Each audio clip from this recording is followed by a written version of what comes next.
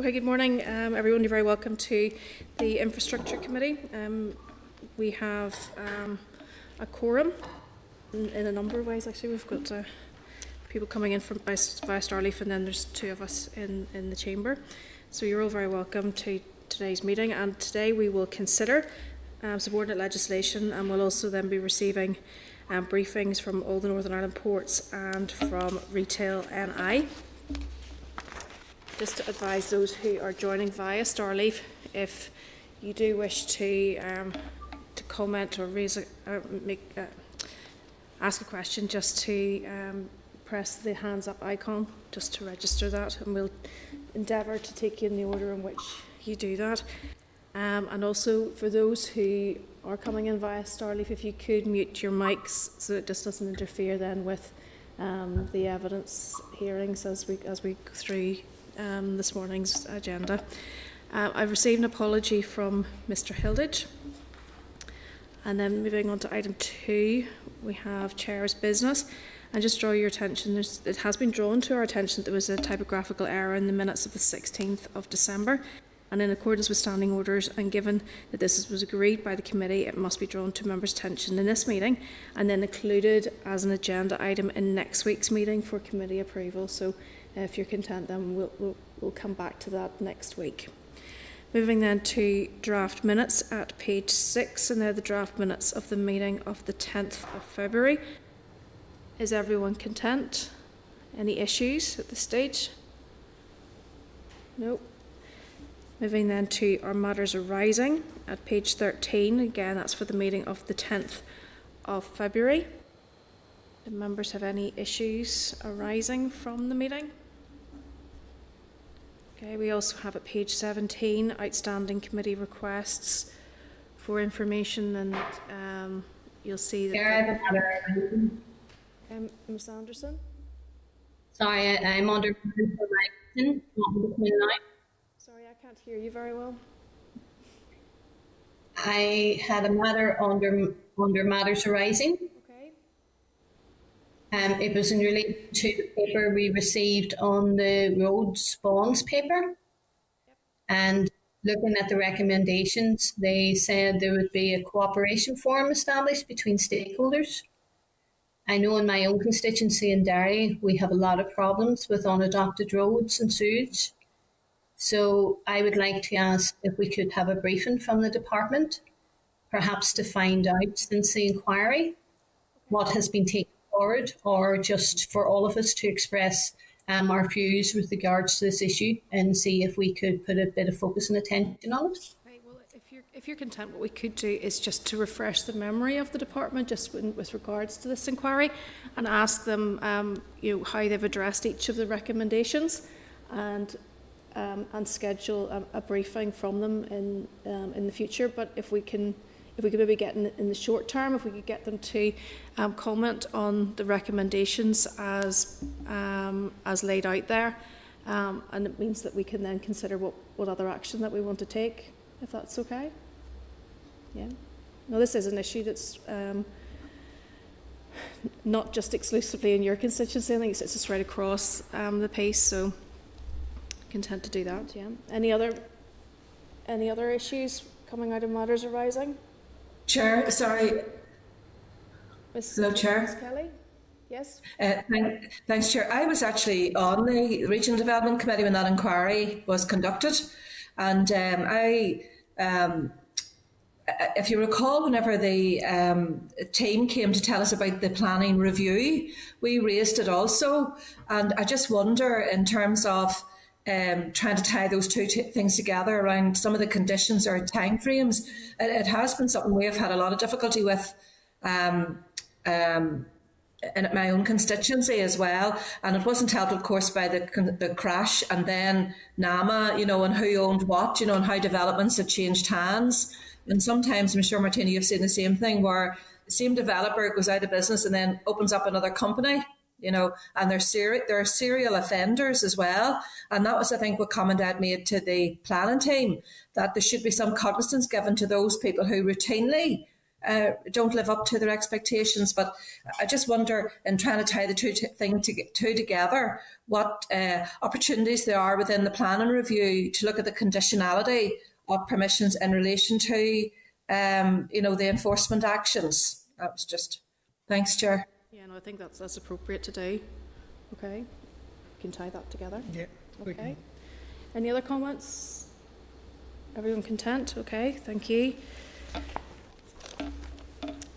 Okay, destroy page 29. Um, that's that inquiry, and obviously you're content to write to the department in relation to that.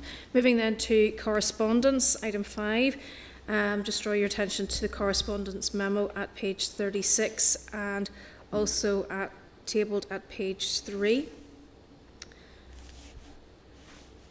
Members have any comments? We've obviously uh, uh, uh, correspondence from the Friends of uh, Bay um, in relation to planning issues, and it'd be useful then to forward that to that correspondence to the department. It's not clear whether that has gone to the department or not, although we'll probably assume that it has. And then at page 57, we've obviously correspondence with regards to the taxi drivers financial assistance scheme, which we'll, we'll return to at um, item 7 um, of our agenda. Page 61, there are issues um, which we raised with the department and it's a response to them. That was from the 27th of January. And obviously we had a number of queries around the bus and coach operator scheme, which um, they've attempted to address. We will be we will be discussing this next week when the department comes with their proposals. Um, and at this stage, I suppose we're really unclear as to what those are going to be. We also have uh, correspondence from Coney tabled at page four, and that gives a reflection of the meeting which they had with the department on that. Um, and then tabled at page six, which ties in with our last comment from Dolores there, just in relation to the call for evidence for the review of the implementation of the Planning Act. I think Andrew maybe had something you wished to raise with regards to that as well. Thank you, Chair. Um, I think it's been tabled. I think we just need to get clarity about what engagement there's going to be with the committee, or maybe conversely, what we're how we're going to engage with the officials around that. Because I know that there's a, a relatively tight timescale around that. So maybe that's something to be considered at the next committee meeting in terms of what our planned engagement is around that review. Ms Anderson. Um, thank, thank you, Chair. I would like to um, deal with the matter on page 63. Um, I know you said we probably will be returning to this, but Chair, my little concern in relation to the bus scheme is that um, Sinn Féin has met with the bus operators. I'm sure other parties have done the same, and they are very frustrated, as we would all know, uh, with the previous scheme. Now, it states that 140 applications uh, out of 140, only 80, 84 had been assigned as eligible. So the reps had told us that uh, many have not received the full payment, and while 54 have been deemed um, ineligible. So, with the second scheme coming on board, and I'm conscious because we'll be dealing later on with the taxi scheme, with the second scheme coming on board, could we ask the infrastructure minister to engage with the sector to iron out the problems encountered by them in the first scheme so that they can be addressed in the second scheme? Because I keep feeling like, as MLAs in this committee, we raise issues and we highlight them and flag them up and red flag them and hope that they have been dealt with.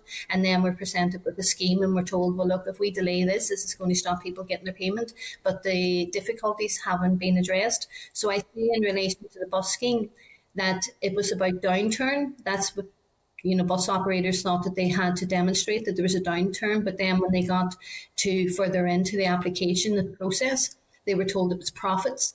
And I would just like to make a comparator. Like when cafes were told that they could do takeaways, people weren't then looked at, well, did you make a profit or how is your profit margin? And that will determine whether you get the grant. They were adversely affected by the restrictions and therefore they received the grant. But that doesn't seem to have happened for, for bus operators. And so I'm concerned that maybe a second scheme may not take that into account. And we also have the issue, Chair, that we need to be keeping on the agenda because chauffeurs, those who deal uh, in that particular area, are telling us that they're not eligible for the Part B, even though they have been told to go to Part B um, in the Department of Economy scheme. So there's lots of things falling out from this, and as we raise them and try, as I think we're doing, in, in a way to try and assist the department to iron these out before another scheme comes uh, on board, then we're faced with another scheme and the same problems are there. Okay, and of course, at this stage, we're, we're, we are in the dark because obviously a scheme is, has been drafted because if they're coming next week to present it to us, um, at this stage, we know very little as to whether or not and the Minister dodged the question as to whether it would be an extension of the, of the scheme that we had or it would be a new scheme which would take on board the lessons which had been learned. And certainly, uh, as you've reflected, having discussed, had a discussion with some of the bus operators, I don't feel that they, they're that content that a lot's going to change. Yeah, well, that's I, I, think that's our fear that we're now going to be presented with a scheme that may come in front of this committee or regulation, and we're going to be told, well, look, if we try to tamper with this, delay then these drivers or these operators aren't going to get the much needed financial assistance. And that sort of leaves us then in a difficult situation with all of these schemes. But in the development of these schemes, when we're flagging up the problems, and the problems are there, and all the parties are hearing about them, and I think there's cross party support for addressing them in this committee. And yet, we're presented by the department with a scheme that, for me, isn't reflected even in the fanfare of announcements or the genuine announcements by the minister about these schemes. Uh, and yet, what comes out the other end from the department seems to be a number of obstacles and preventing some of these operators or drivers or whatever the situation would be, preventing them from getting access to the much needed schemes and the hardship, the, the grants that they need. So, Chair, I'm just a wee bit confused or concerned even that this department is not actually taking account of the committee's views at all. Okay, well, if you're content that if members are content that we reflect that um, just in advance then of the scheme obviously um, coming to committee and I would anticipate that we'll probably get a clearer view on that probably by the end of the week because normally we would have papers um, yeah. for issuing by Friday. So at that stage um, we'll, we'll know. Chair, I, Chair, I, do, I do have to, Chair. Ms Kelly? Yeah thank you Chair Sure, I do have to say that I think some of the criticism is unfair. I mean, the minister's made it very clear there's value for money elements that forbids her from being able to do some things, and we're not being entirely honest when we don't acknowledge the fact that many of the businesses and operators have access to other funds. You know, and we're not going to be able to, I don't think, uh, address all of the needs or wants during this pandemic, and I think that's widespread across all businesses. Um, you know, so I, I, would just like a wee bit of honesty in in the um, analysis in terms of what's being done and what's not being done. Uh, uh, whilst I agree that the committee should be given its place and information given uh, before the committee as, as, as quickly and as uh, soon as possible uh, for, for members to uh, consider, I don't think all of the criticism is fair nor warranted. I just want to put that in record. Well, I don't think that, that that's probably what we're trying to do either. I think what we are wanting is some clarity around all of this as well and to ensure that those concerns which have been raised and, and have been um, and that have been felt as, we, as we've seen um, from the, the, the, representation which we've had that they're being acknowledged within the department. Sure. Well, it's just sometimes people have been given the answer and they don't like the answer. okay, Mr. Buchanan. Yeah, just, just a point to pick up on Ms Anderson's point. If you look at page 64, there's a lessons learned from first bus and coach scheme. So obviously officials on the Minister met on the 1st and the 9th, so we will see, based on that, what lessons they have learned and why they reflect on the on, on both sectors and, and bring it into the second scheme the problems they had and the difficulties. So we will see if, if they've listened. And not, not taken away from Ms Anderson's point, whether they listen to us or the, the, the actual people at the cold face and, and make changes to the scheme. Okay. Ms Kimmins? Chair. Uh, oh, sorry, Cathal. Chair, Chair, just on this point, I mean, Chair, I, I appreciate what Dolores is saying, everybody's saying, but unfortunately, out there, you know, because of the licensing and all the regulations that go through DFA, there's an expectation that DFA will deal with. We also appreciate that there's other schemes out there that people can apply for. But all we're asking for is clarity. I'm sure the committee uh, and all its membership will support the people in applying for funding and get whatever funds it is to get it out on the ground. And that's the key element here. And certainly we learned from previous schemes but we as a committee have a responsibility. If DFA is collecting all the information in relation to bus operators, in relation to taxi operators, in relation to taxis, then there's an obligation there to look. And we as a committee will support that. I know it's a difficult period, but there's money's there. The minister keep them. Finance minister said there's money there. So I'd like to see us collectively as a committee support all of those schemes and support the people to get the money, get it out on the ground as quickly as possible, and learn from what has been in the past. Thank you. Um, Ms. Ki- uh, Ms. Kimmins and then Mr. Muir. Thanks, Chair. Chair, mine's on a separate issue now. It's about another item in the, the table papers under correspondence about the taxi operators. Am I okay to go ahead now, or do you want to wait? Can we wait until we finish the coach operators? Sorry, yeah. I wasn't too sure. Yes, no problem. Okay, Mr. Muir, was it coach operators? No, no. No. Um, Mr. Beggs, coach operators? Yeah, yes, it is. Okay. Uh, coach operators. Um, I, I think, uh, given the high numbers of um, applications that were turned down, that we, we should be asking for a review of the criteria. Um, we have to be realistic that if people have been making profit, this this isn't to enable people to make more profit. It's uh, the conditions around COVID funding is that uh, is to enable people to recoup losses. Um, but there is a, uh, a likelihood that very severe restrictions have been put in place as to who may be applicable, and we should be reinforcing our request that this should be reviewed before uh, we're presented with the final proposal because in reality next week uh, is very very tight. Um, there will only be about another month when the money will have to be allocated and accounted for, um, and it will be very difficult to change anything uh, after next week uh, because of the, the limited time period. So I think we should be looking. Uh, uh, requesting that there should be a further review of the criteria to determine whether it is overly harsh and whether additional uh, uh, criteria could be used which would enable more to benefit from it. Okay. Um, Ms. Anderson? Um, Chair, I just want to put it on the record um, that I wouldn't want anyone at all to think that I was being in any way dishonest, reflecting the views of the representatives that we met and the fact that what Roy has said has been their experience that they have had hurdle after hurdle in terms of a bureaucratization of a process that has meant and prevented them from getting access to a scheme. We need to try and support these businesses so when we come out of this pandemic that they are surviving. There's been a number of businesses have already collapsed.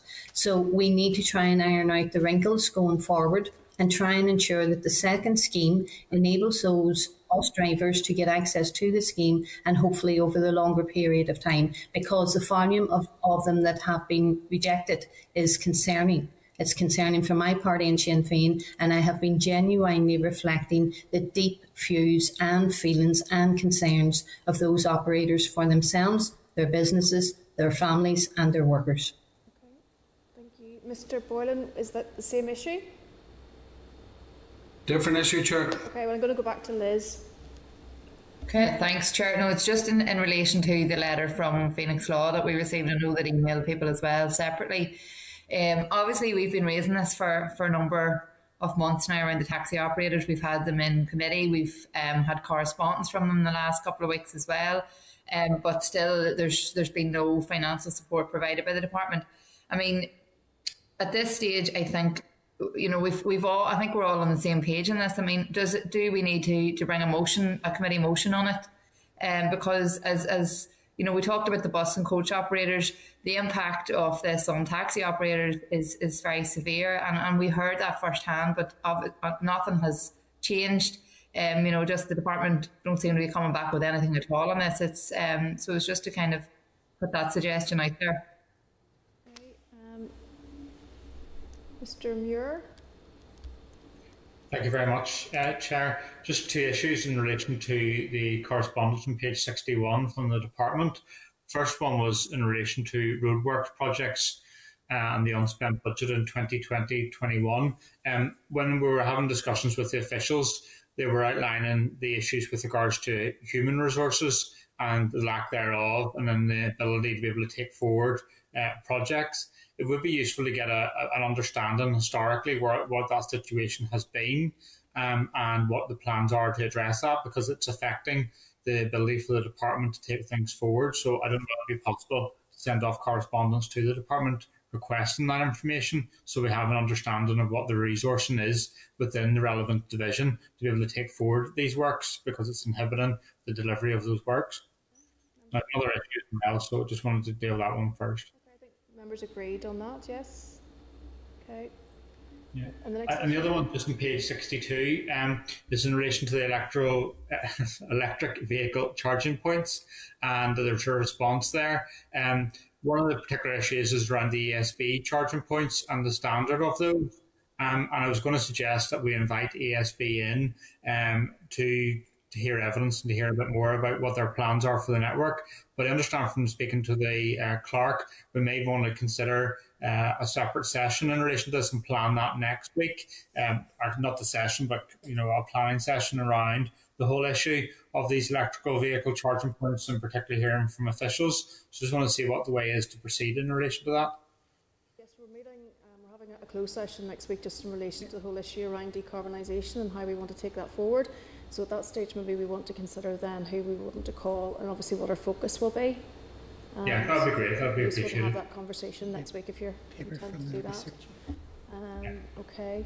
Um, Mr. Boylan, Sure, yeah, just in relation to, to page 48 and the Friends of Knockiveagh, I mean, clearly there's lack of clarity in the how and why the department has gone down the route it has. And obviously, there's a number of questions there that the, the group haven't received, or a couple of queries to put in. Then, and also that the minister hasn't met the group. So, I mean, you know, they're saying about a, a exceptional set of circumstances. So, we need clarity, and that we'd like to ask on behalf of the committee to for, for the department to clarify that, and also as to why you know ABC should bear all the cost in relation to it. Those questions haven't been answered for the group. So, I mean, I'd like support within the in the committee here to write to the minister and clarify exactly what that is. Was Liz, Liz and myself and other members of, the, of many's another party has been contacted in relation to the Friends of Knockiveagh.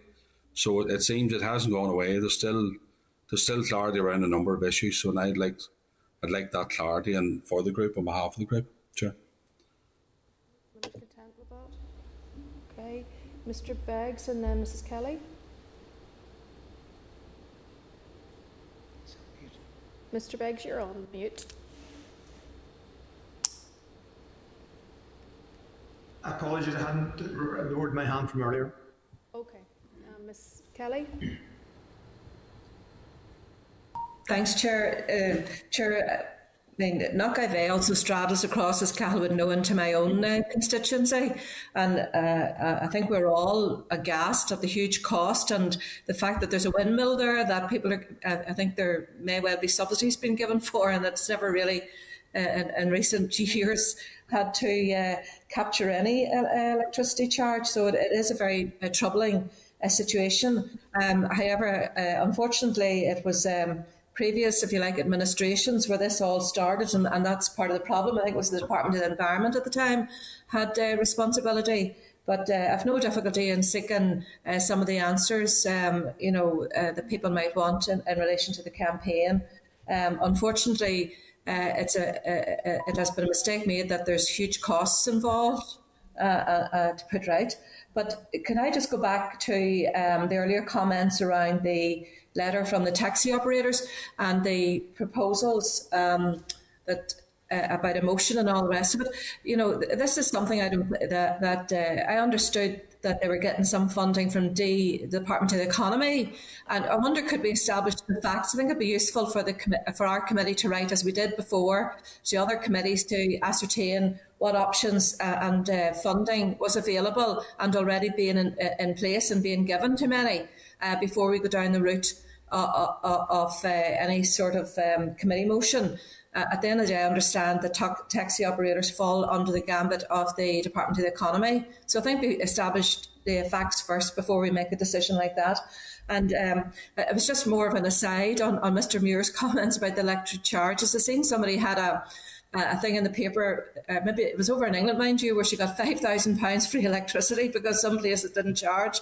So I'd imagine that uh, if we do go into a public session at some stage and where the charging points are and who gives electricity free and who charges, there'd be a, a great stampede, if you like, of those electric car owners.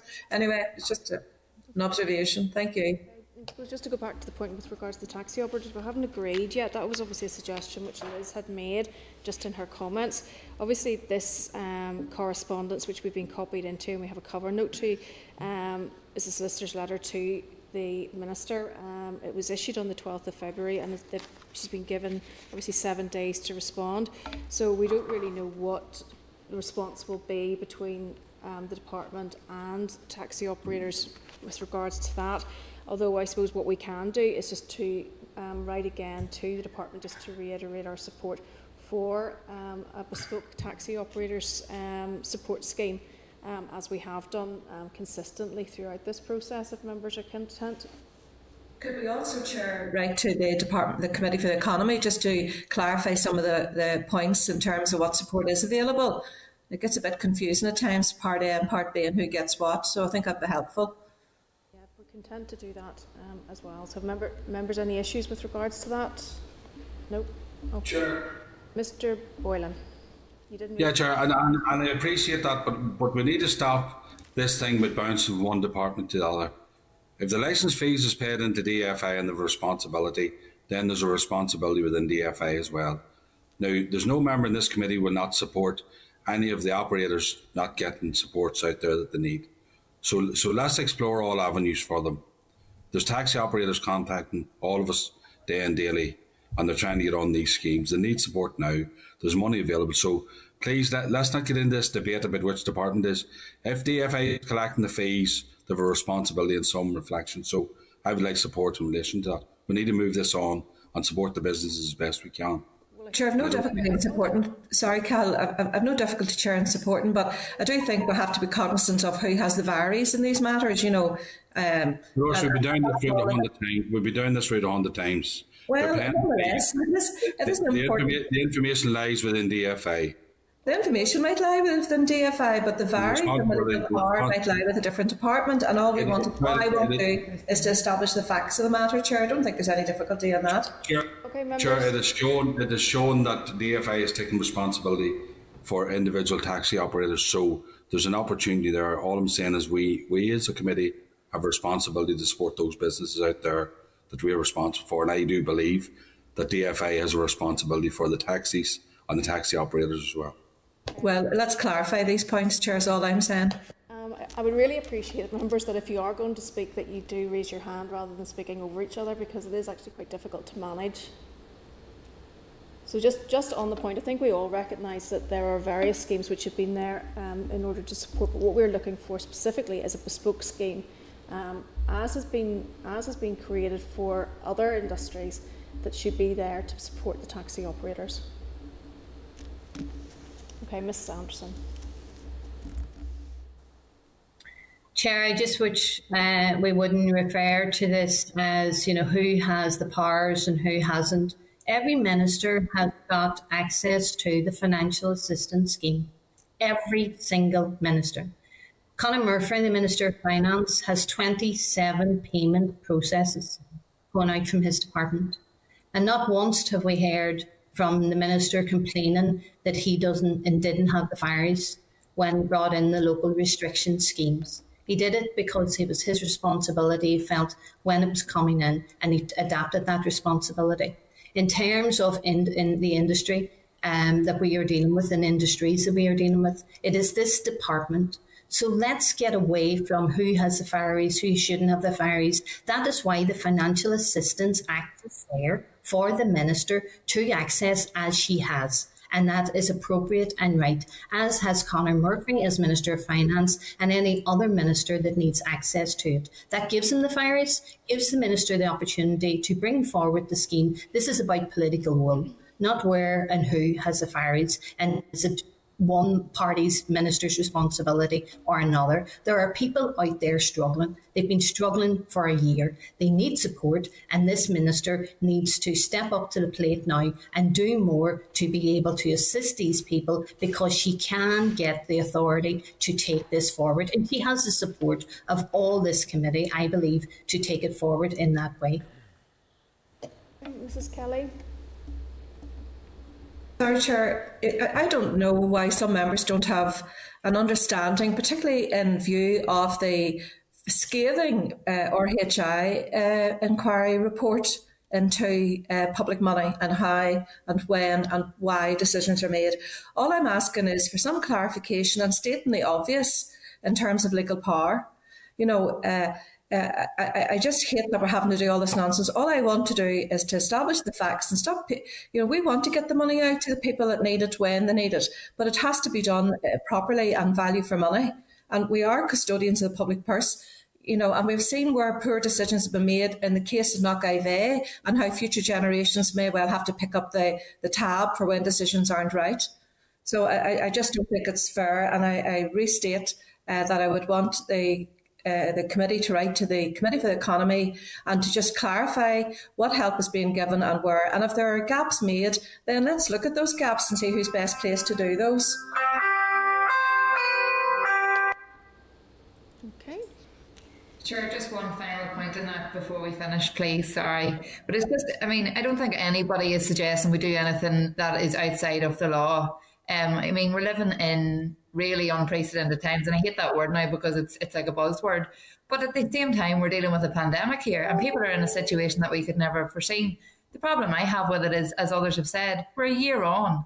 The, the department have engaged with the taxi sector as they've engaged with the bus and coach operators. So why provide support for one and not the other? You know, that's that's the bottom line for, for me. I mean, this to and fro, and I'm not getting into a, a, whole debate about it again here, but it's just I just think it's important to state there's to and fro and back and forth here. You know, as others have said, speak to the executive, ask can we get get the power to do it, and this committee will support it. And I think that's the end of it. I think we've exhausted that item, so if members are content, we can move on. Um, move on then to, uh, if you're content with the actions that suggested the correspondence out with what we've decided um, in our conversation, um, if you're content then to agree the, the correspondence memo for all those other items which we didn't discuss. Okay. Moving then to item six, we have um, SL1 Ballyboley Road Larne Abandonment Order in Northern Ireland 2021, and that's at page 67. The proposals are subject to negative resolution procedure the rule will abandon an area of 2,650 square metres of Ballyboley Road, extending from a point 135 metres north of its junction with Rowan Avenue for a distance of 365 metres in a northwesterly direction. Are members content with the proposals for the statutory rule? Great. Okay, item 7, SR 2021 33, the Taxi Driver Coronavirus Financial Assistance Regulations Northern Ireland 2021 and this is at page 71. The committee considered the proposal for the rule on the 13th of January and was content. The rule is subject to negative resolution. As outlined in correspondence, the proposals now include a pro rata payment mechanism. Are members content with this rule? Members, any comments? Great. Um, Chair. Ms Anderson. Now, uh, Chair, uh, yeah, of course, uh, we again we're faced with a regulation that we don't want to stop uh, taxi drivers from getting their much needed financial support. But as we raised it when it came before the committee, as we raised it before it was developed, um, I don't support the pro rata rule. We don't support it, but we have to let it go forward because we think that those taxi drivers who were shielding, who did not have the money and temporarily suspended their insurance, should not be getting penalised in this way. That's not to stop it, but I would like that put on record. Okay. Everyone else content? Okay, thank you. So the Committee for Infrastructure has considered SR 2021-33, the Taxi Driver Coronavirus Finan Financial Assistance Regulations Northern Ireland 2021, and subject to the examiner's statutory rules, has no objection to the rule. Okay, agreed. Moving then to item 8, which is subordinate legislation SR is not subject to Assembly proceedings. There are three statutory rules um, for us to consider. At page 86, SR 2021 34, the school's part time 20 mile per hour speed limit amendment order, Northern Ireland 2021. At page 20, 99, SR 2021 35, the waiting restrictions Bryansford order, Northern Ireland 2021. And at page 103, SR 2021 36, the Parking and Waiting Restrictions Belfast Amendment Order Northern Ireland 2021. The committee considered the proposals on the 13th of January and we were content. Uh, I'd just advise you then just to note that these the statutory rules, unless um, just all we're going to do at this stage really is note them unless you have any issues um, to raise.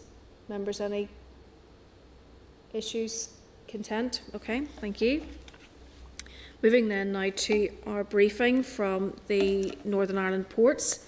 Hansard will record the session and I'm going to um, welcome by Starleaf. We have um, Riccardo Pinelli, the General Manager and Director of the Port of Larne. with David Holmes, the Chief Executive of Warrenpoint, Brian McGrath, the Chief Executive of Londonderry Port and Harbour. And Maurice Bullock, who's the Finance and Compliance Director, um, Belfast Harbour Commissioners. We're hoping that he can join us although he is having technical issues, so um, he may be able to join us at some stage if that's possible. So, is everyone on?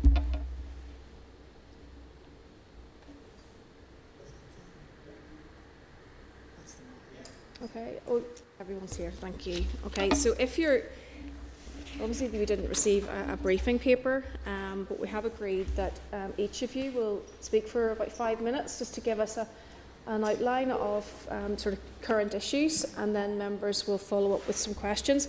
So, really, just in the order I suppose that I called you. So, we've got Ricardo first, and then David, Brian, and Morris. Hello there. Good morning, Chair. Can you hear me okay? Yes, we can. Thank you. Wonderful. So, thank you. This is I'm Riccardo Tonelli. I'm the General Manager for the Larne Harbour Limited.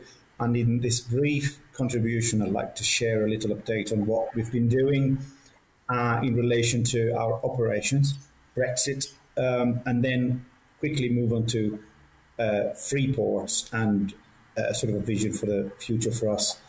Um, in terms of operation, we have worked incredibly hard over the past few months to keep the port open and smoothly, you know, smoothly carrying freight mainly across the Irish Sea, uh, mainly with Cairnryan in Scotland and being a vital link between GB and Northern Ireland. Uh, we're proud to say that we, you know, we didn't have a single day where we had a queue at either ports, and that's through to good cooperation with, uh, you know, between our teams, our customers, and DAERA and Border Force. So that went extremely well, and we're very safety conscious. So we focused on how to interact safely, how to avoid or minimise COVID-related risks and we want to continue to do that. And uh, we are keen to be at the forefront of the discussion when it comes to, um, you know, um, the protocol and new rules and what happens after the 1st of July. Uh, so we'd like to, you know, just be in the room for that. Um, in terms of uh, Brexit, as you mentioned, we we worked pretty pretty well and pretty hard to keep our freight lines open, which which has happened. We we've had a good interaction with our customer base. We we kept goods flowing, and so we continue to do.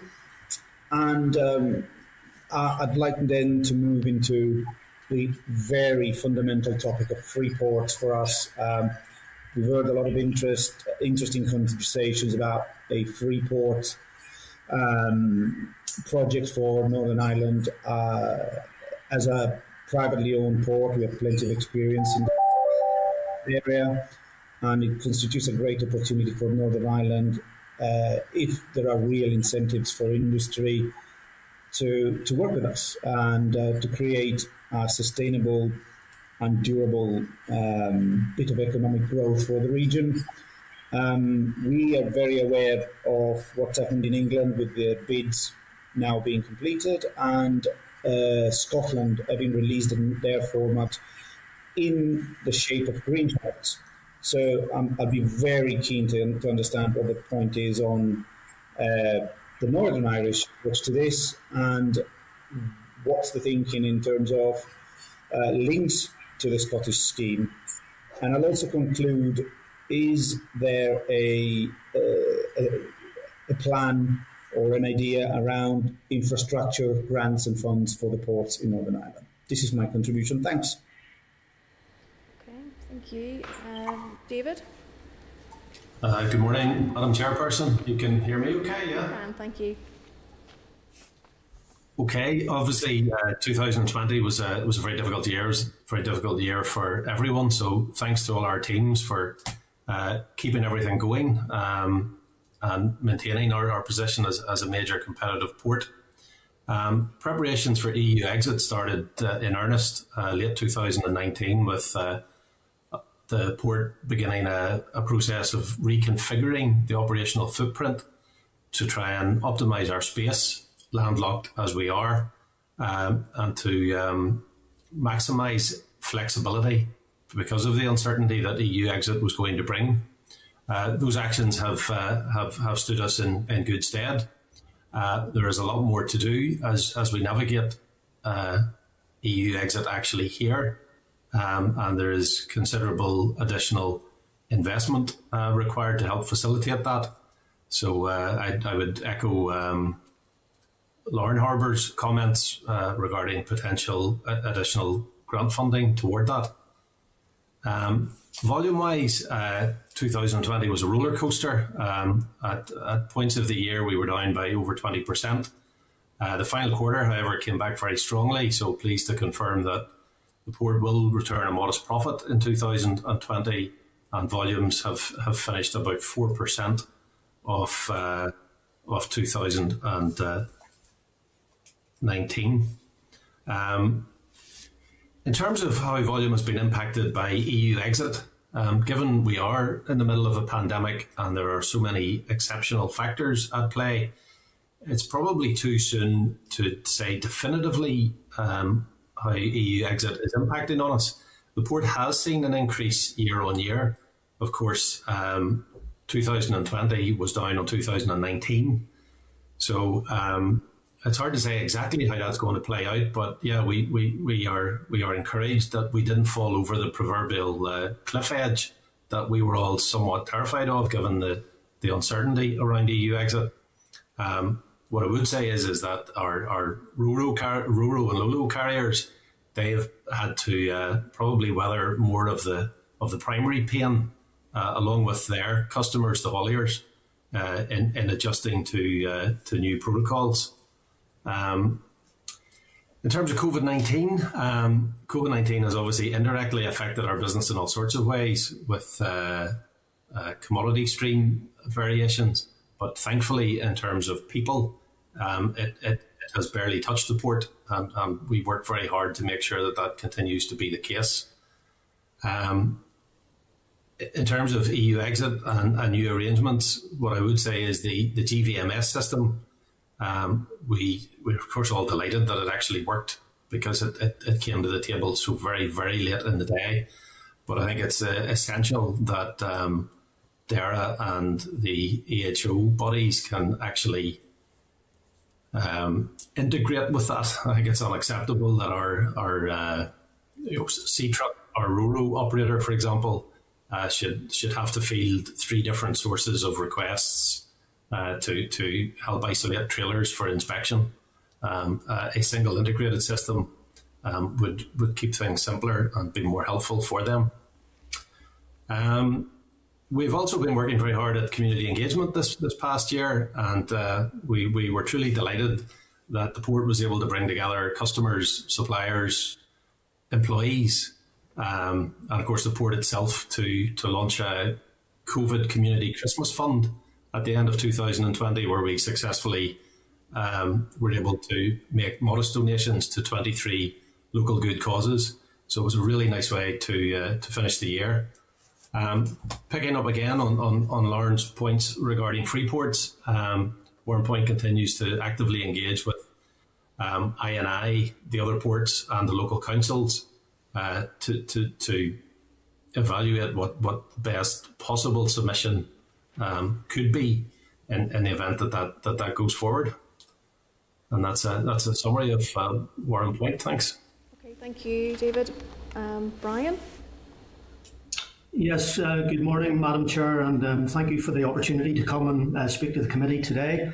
Um, at Foyleport, um, we've been uh, working hard in preparation for the Brexit transition, and I'm pleased to say that we have had no impact in terms of our trade flows um, which is uh, to some extent because of the nature of the work that we do here. uh, unlike the East Coast ports with their ferries uh, and the pressures associated uh, with that kind of trade, um, we have had our specific challenges, but uh, perhaps not to the same extent as the others.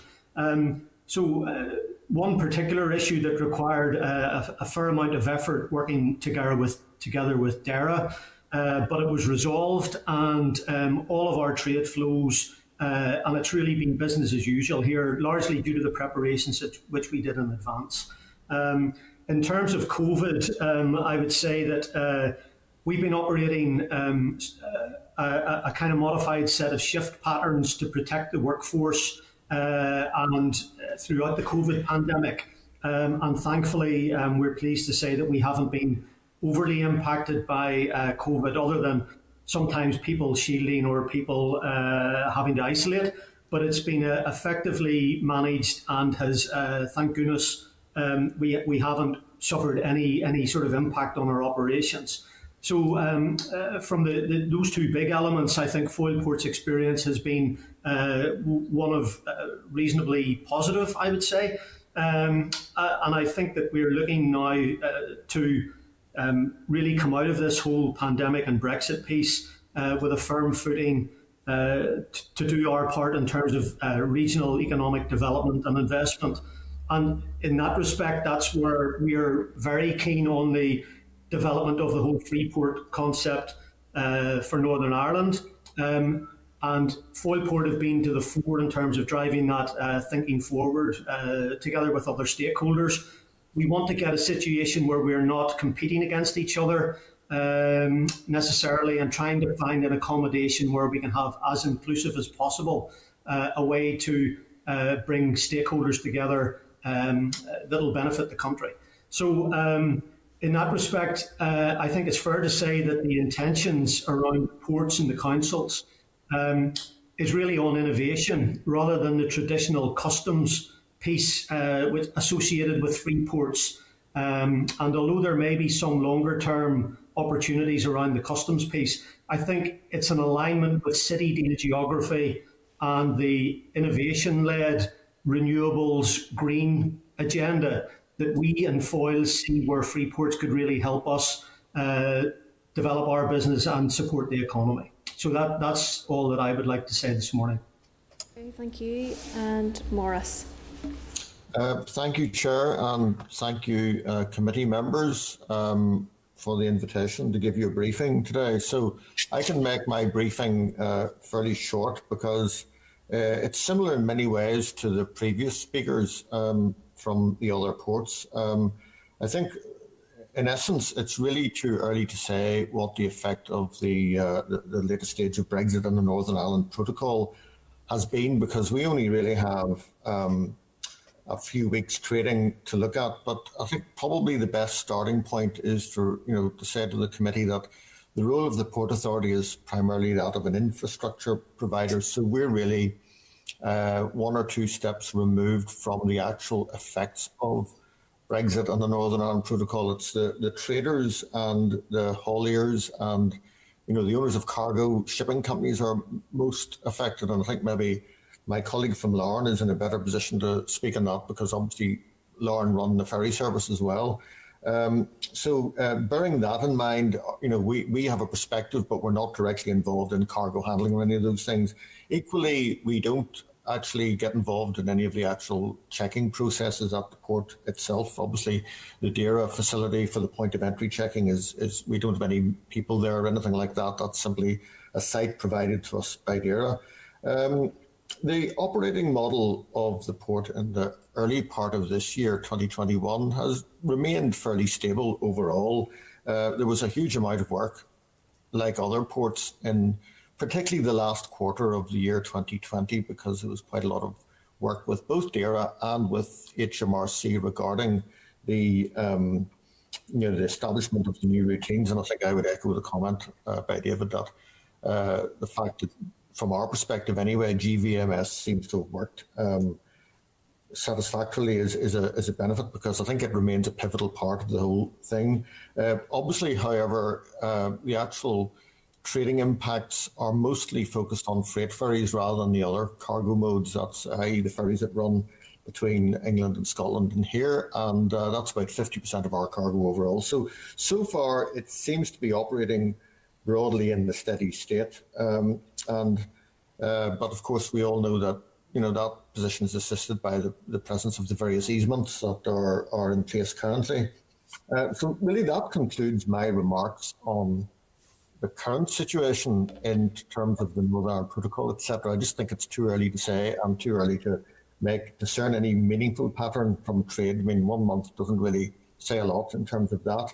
Uh, moving then on to the other issue, which is COVID, I'll just touch briefly. Well, thankfully, again, our employees in the port have been only slightly affected. It's only been fairly, we're not been overly affected by that, just like the other ports. Uh, we've been operating in pandemic plan mode.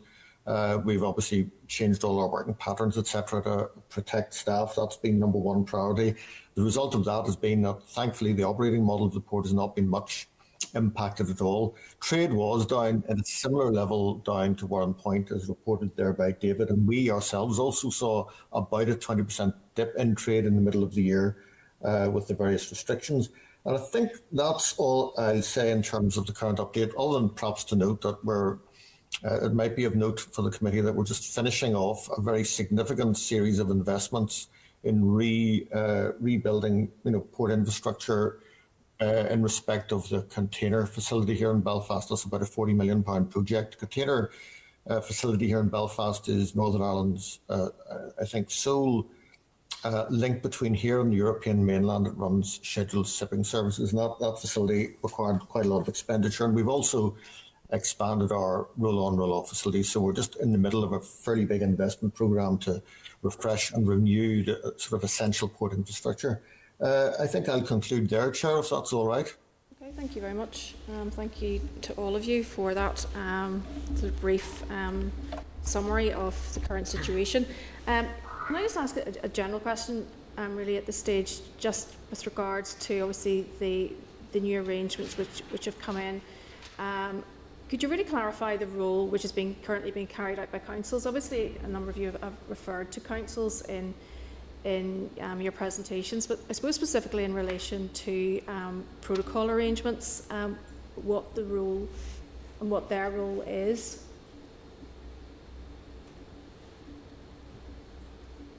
Could I ask maybe Ricardo? Thank you, Madam Chair. Uh, if you can hear me. Um, typically, in, in our port, currently, uh, the council has employees that work on behalf of DAERA and provide phytosanitary checks on uh, an, a, a, number of vehicles, freight vehicles that are disembarked in Larne coming westbound.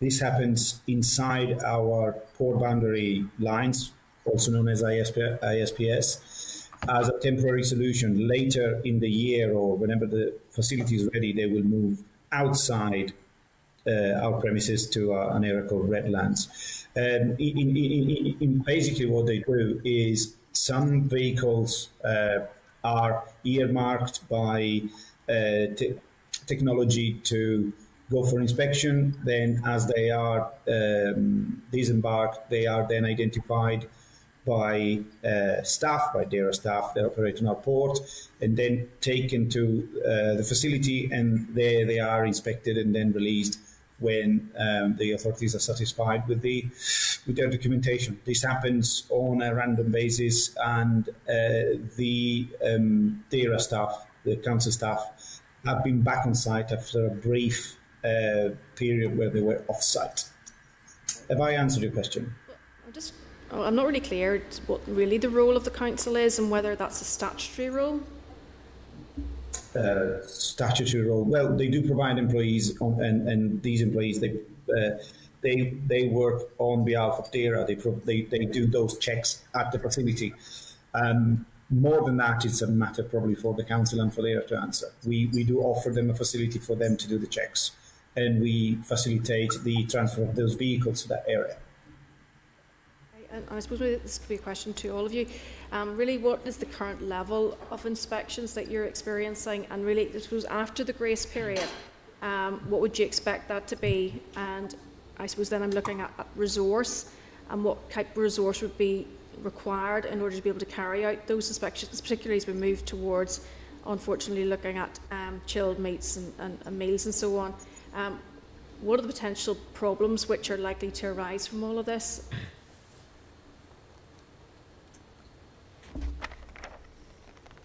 I'll, I'll try and answer again. Uh, currently, there aren't that many checks. I will say it's a handful a day, uh, probably less than 10 a day. It, if uh, there, there, was a number bounded about at around 1% of goods moving, but that could increase.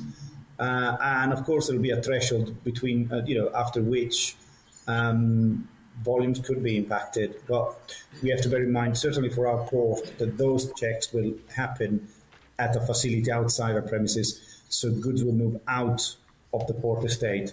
So we don't quite know what the impact is going to be for us directly, as vehicles will exit the, the port estate at that point. It will be on a site or, uh, outside of our premises. So at this stage, you, you don't see any potential problems?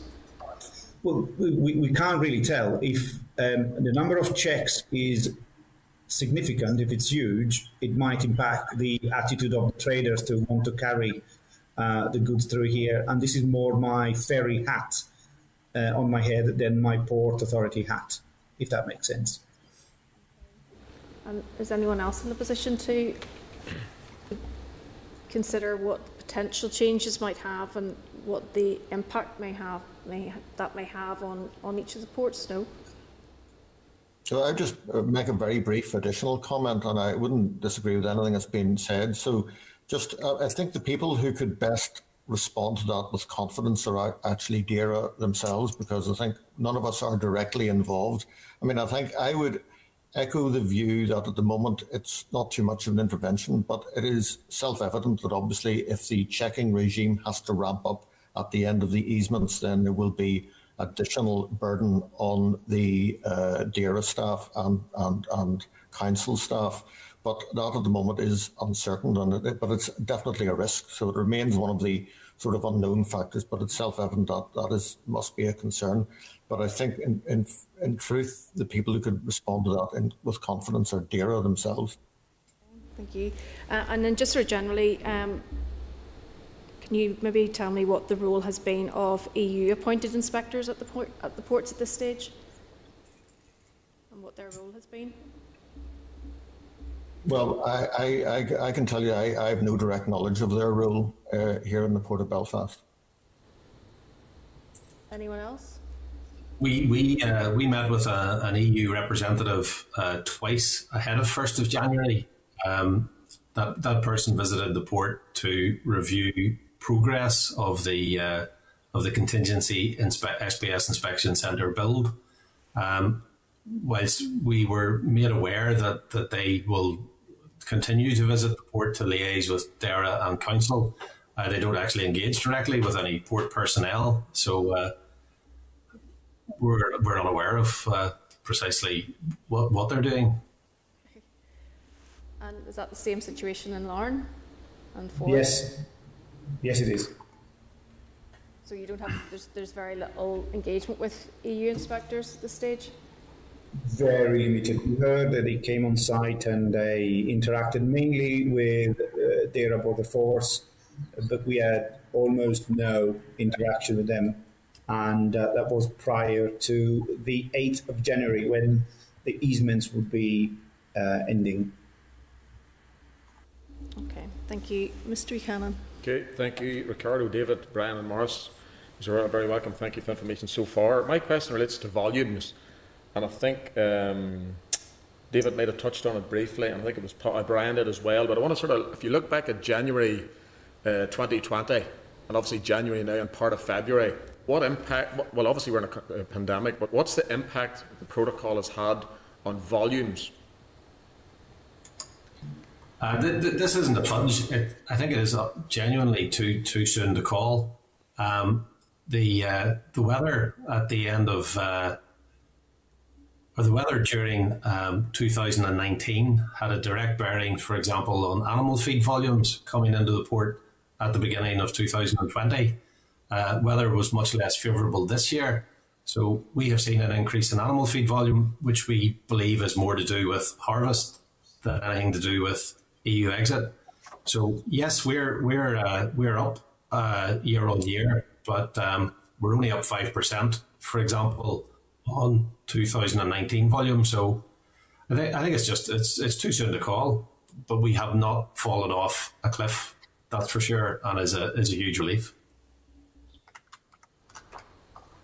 So, uh, um, I can add to that one just uh, a bit. So, um, in terms the, the, the, volumes, obviously that we're most concerned about would be the freight ferry volumes, the roll on, roll off traffic, because that's the sector of the traffic that would be most um, uh, affected by uh, the Northern Ireland Protocol. Uh, we obviously are a bulk and a container port as well, and you're going to get short-term fluctuations in volume. But in terms of the roll-on, roll-off traffic, which is the critical part, I would suggest uh, we're we're also slightly up, as David is. Now, the thing about that is it's it's very difficult on one month's trading to say anything because traditionally January can be a quiet month anyway. Um, then we had a lot of stock building. We had a trade surge, undoubtedly, in December where people were bringing in stuff. So we had a bit of a surge at the end of the year. So between a surge in December, a, you know, January being typically normally quiet, and we did a fairly thin trading at the start, uh, and we're seeing some recovery into February. So as I said, I think in my opening remarks, it's really too early to discern any um, any overall pattern. But in terms of roll on, roll off traffic, we are, like Warrenpoint, saying, you know, fairly steady traffic now. Ricardo, what's your thoughts on that?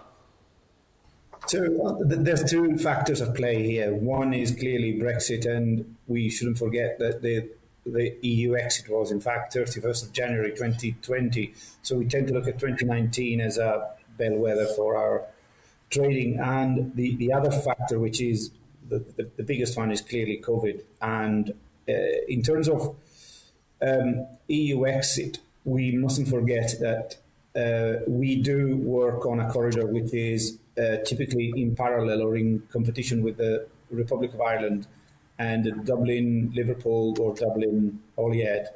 And this, you know, our volumes are published, uh, freight volumes are published. We're there or for the past two years, but this is also because the volumes into the Republic have completely tanked. And this is just freight. And they have tanked due to EU uh, rules. The second side of it is obviously the impact of the pandemic, which has it, it, it all but stopped the tourist and passenger market. Although for our corridors, less so because we, being GB to Northern Ireland, we are a domestic route. So there's still a few people travelling. There are no people travelling into the Republic of Ireland. Very, very few. So these are the two main factors. So yes, freight has held up, and due to the really good work that all the ports have done with the protocol and with the, the specifics Northern Ireland corridor agreement, but it's also because the other routes have been impacted more, if that helps. What's your, what's your thoughts? Um, you're referring to volumes and some saying it's up. And I appreciate it depends what you're shipping in or what's coming into your specific port, whether it's animal feed stuff, yeah. timber, etc., not fresh produce. That's not what we're hearing from the haulage sector in regard to the, the number of lorries and trailers that's parked on the mainland UK and not getting back because of no backloads. So how can we have that volume of, of equipment sitting over there, and then we still have a, a, an increase in volume of, of, of, ferry transport back and forth? How does that? How does, how do you it's, it's, um, no, not for us. If I were to look at uh, you know freight volumes, the majority for us is uh, at the moment with with, uh, with, with with retail closed. It's mainly supermarket and that type of that type of trade, and that comes in and out pretty regularly. Um, yeah, it is true that uh, it, it's it's easier to go east than it is to go west, but you know it doesn't necessarily mean that we are one way street at the moment. No, it's it, it's fairly steady. It's certainly comparable to what it used to be. But then again, the, the, the, the normal forces in the market aren't at play at the moment. There's a lot missing, and that's all the hospitality and uh, and retail being closed. Has a massive impact, of course. It's, it's fair to say as well, our the Northern Ireland Irish hauliers are used to uh, uh, exiting, you know, through through Belfast, through Larne, through Dublin. Um, the, the, the hauliers are exposed to a different level of pain because um, our understanding of it is is that volumes through Dublin port have collapsed by half, which which is profound. Um, so the, the, the first-hand experience that the hauliers will be having is, of course, very different to what, what the Northern Irish ports may, may be uh, experiencing. And, and, just on that, David, why why have that, why has that collapsed by half? What's your your take on that? What's the reason for that? Um, my take on that is that it's um, it's easier to come in through Northern Ireland and it's easier to exit through Northern Ireland uh, to GB. So that's what's happening.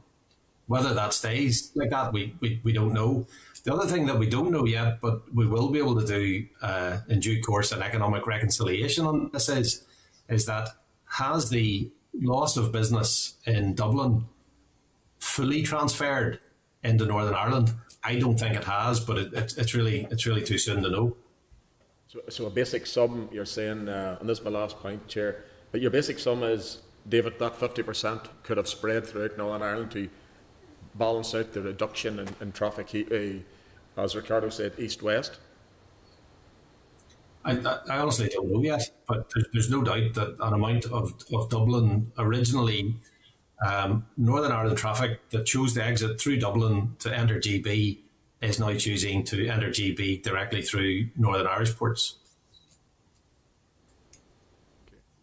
Okay. Okay, thank you, gentlemen. Thanks. Thank um, Ms. Anderson.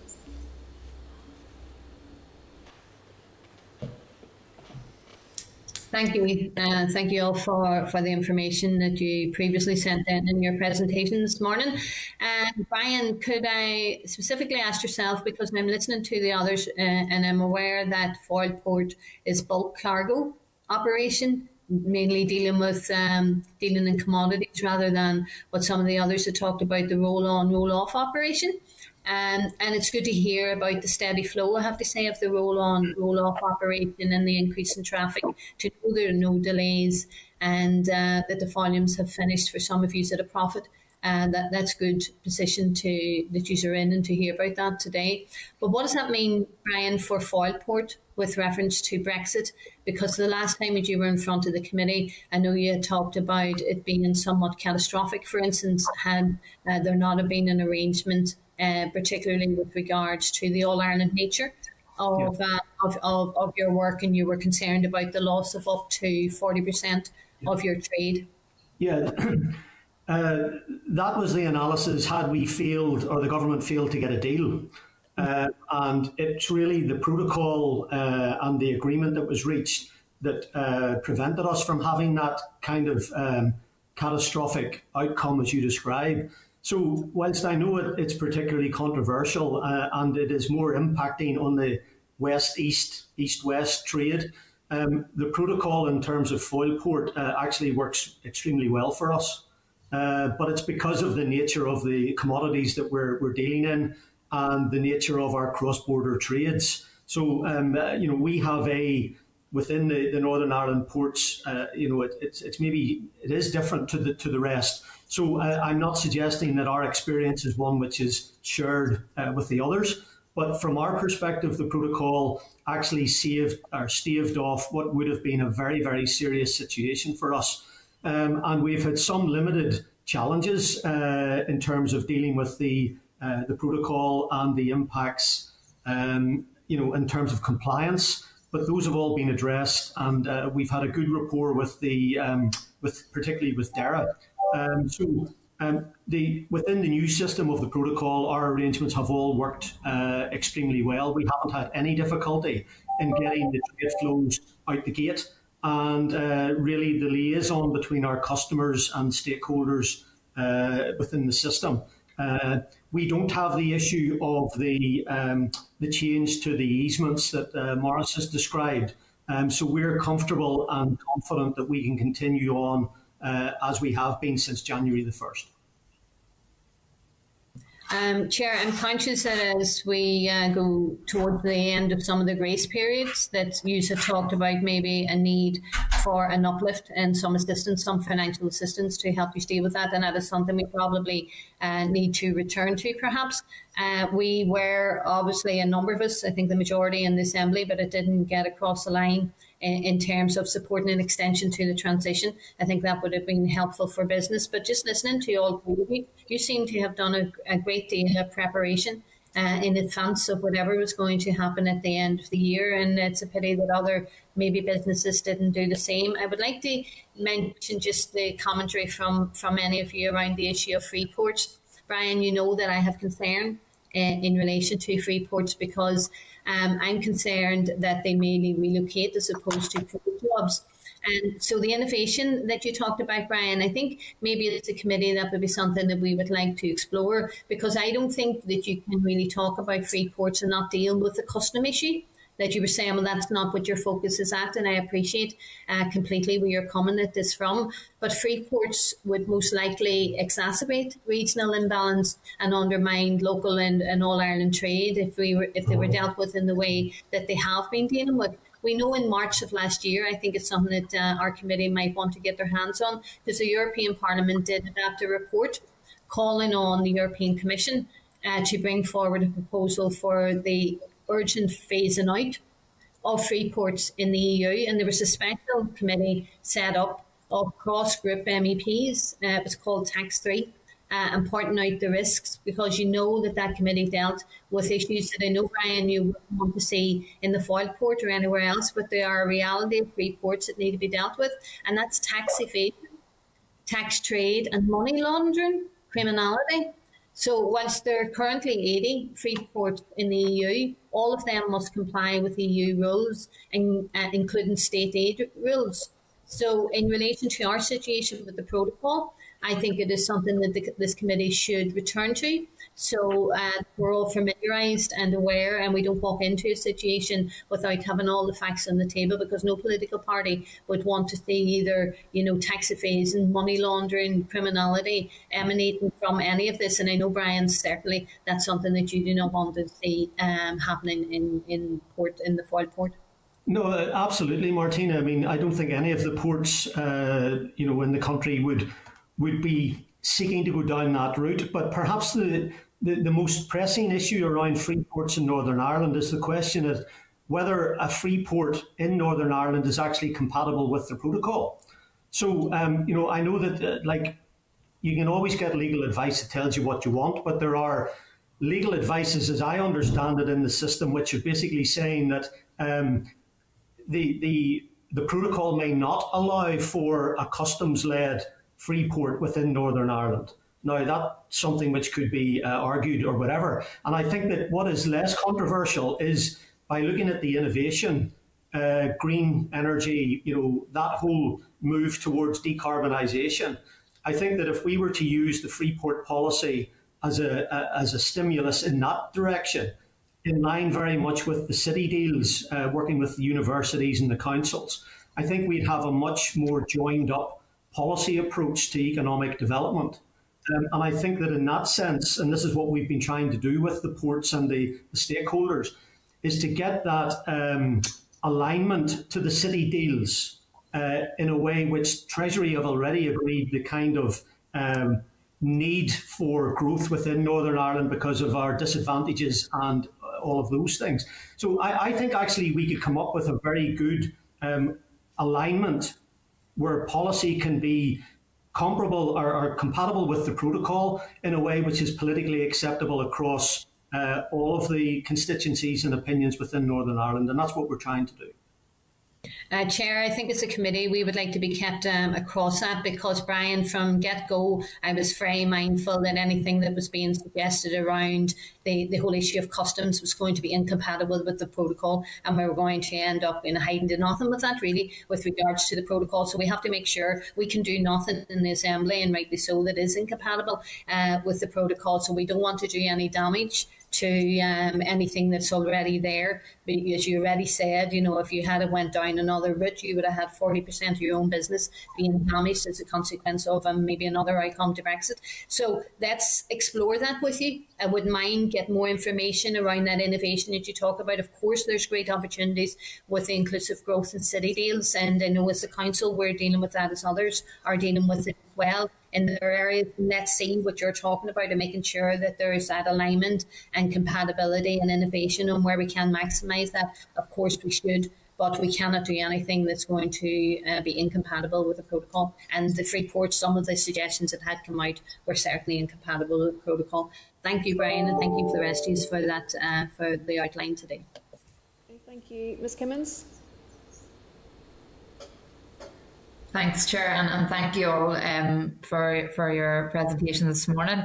Uh, just, I suppose, regarding Warrenpoint, and, and I'm pleased, uh, David, to hear that the port ended strongly, particularly after such a very challenging year for everybody. Um, and I do think it's important people realise that the ports are trust ports, so that profits can be invested back into the local economy. And I think that's more important now than ever. Um, you know, we, we know there's funding there, and, and you've said that um, we may be able to get certain projects done within this financial year, which could be a huge boost to the port.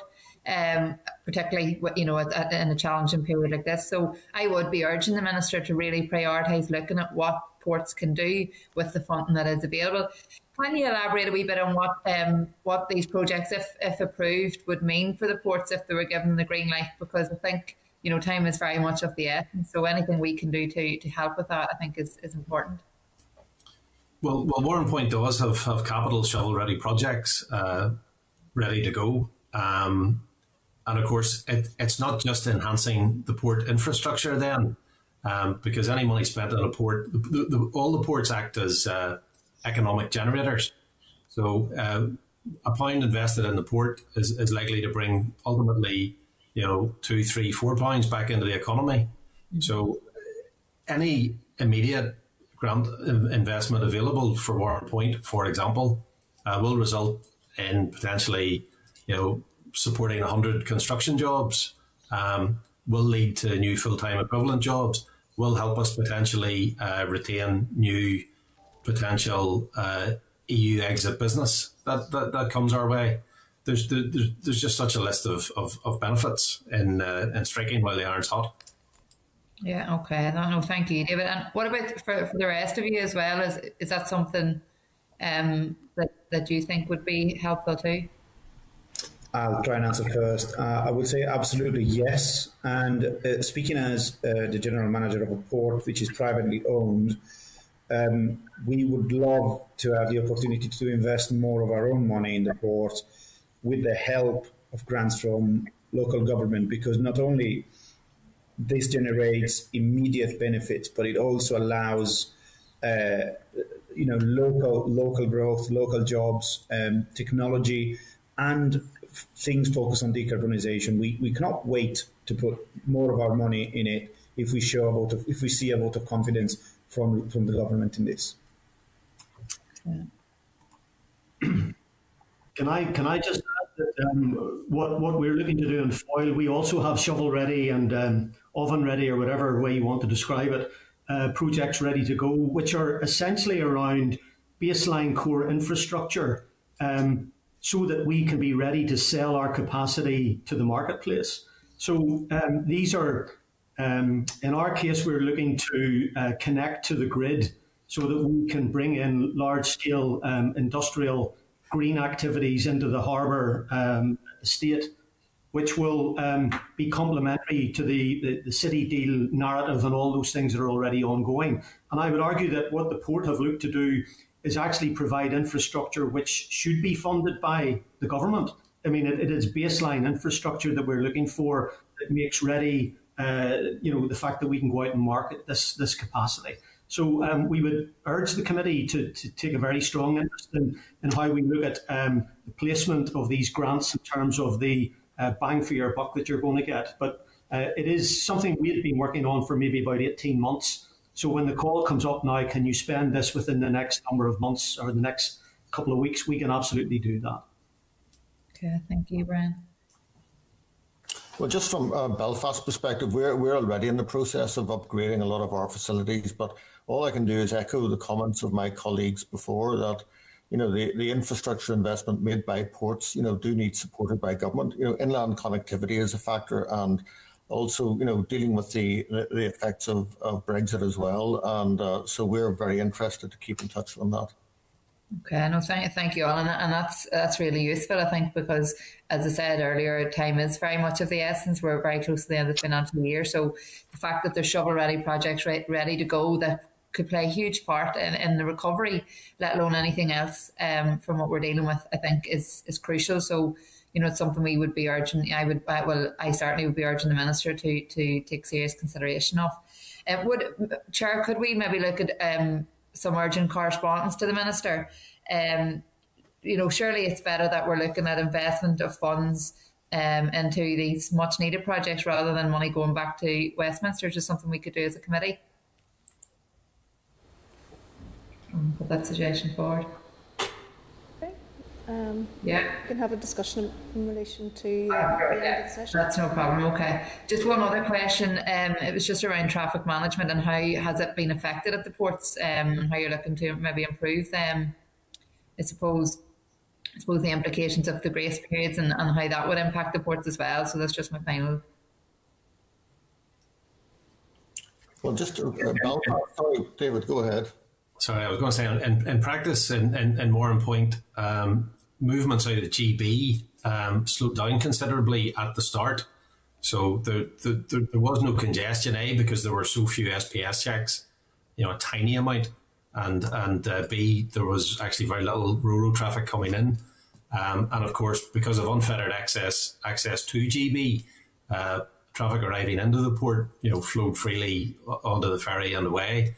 And of course, the, the reconfiguration that we had done and the additional uh, space that we had created was there in any case to, to, to, to absorb any any sort of net uh, increases in volume. So, um, thankfully, we, we haven't seen any any congestion yet, uh, but we have to keep working on that, obviously.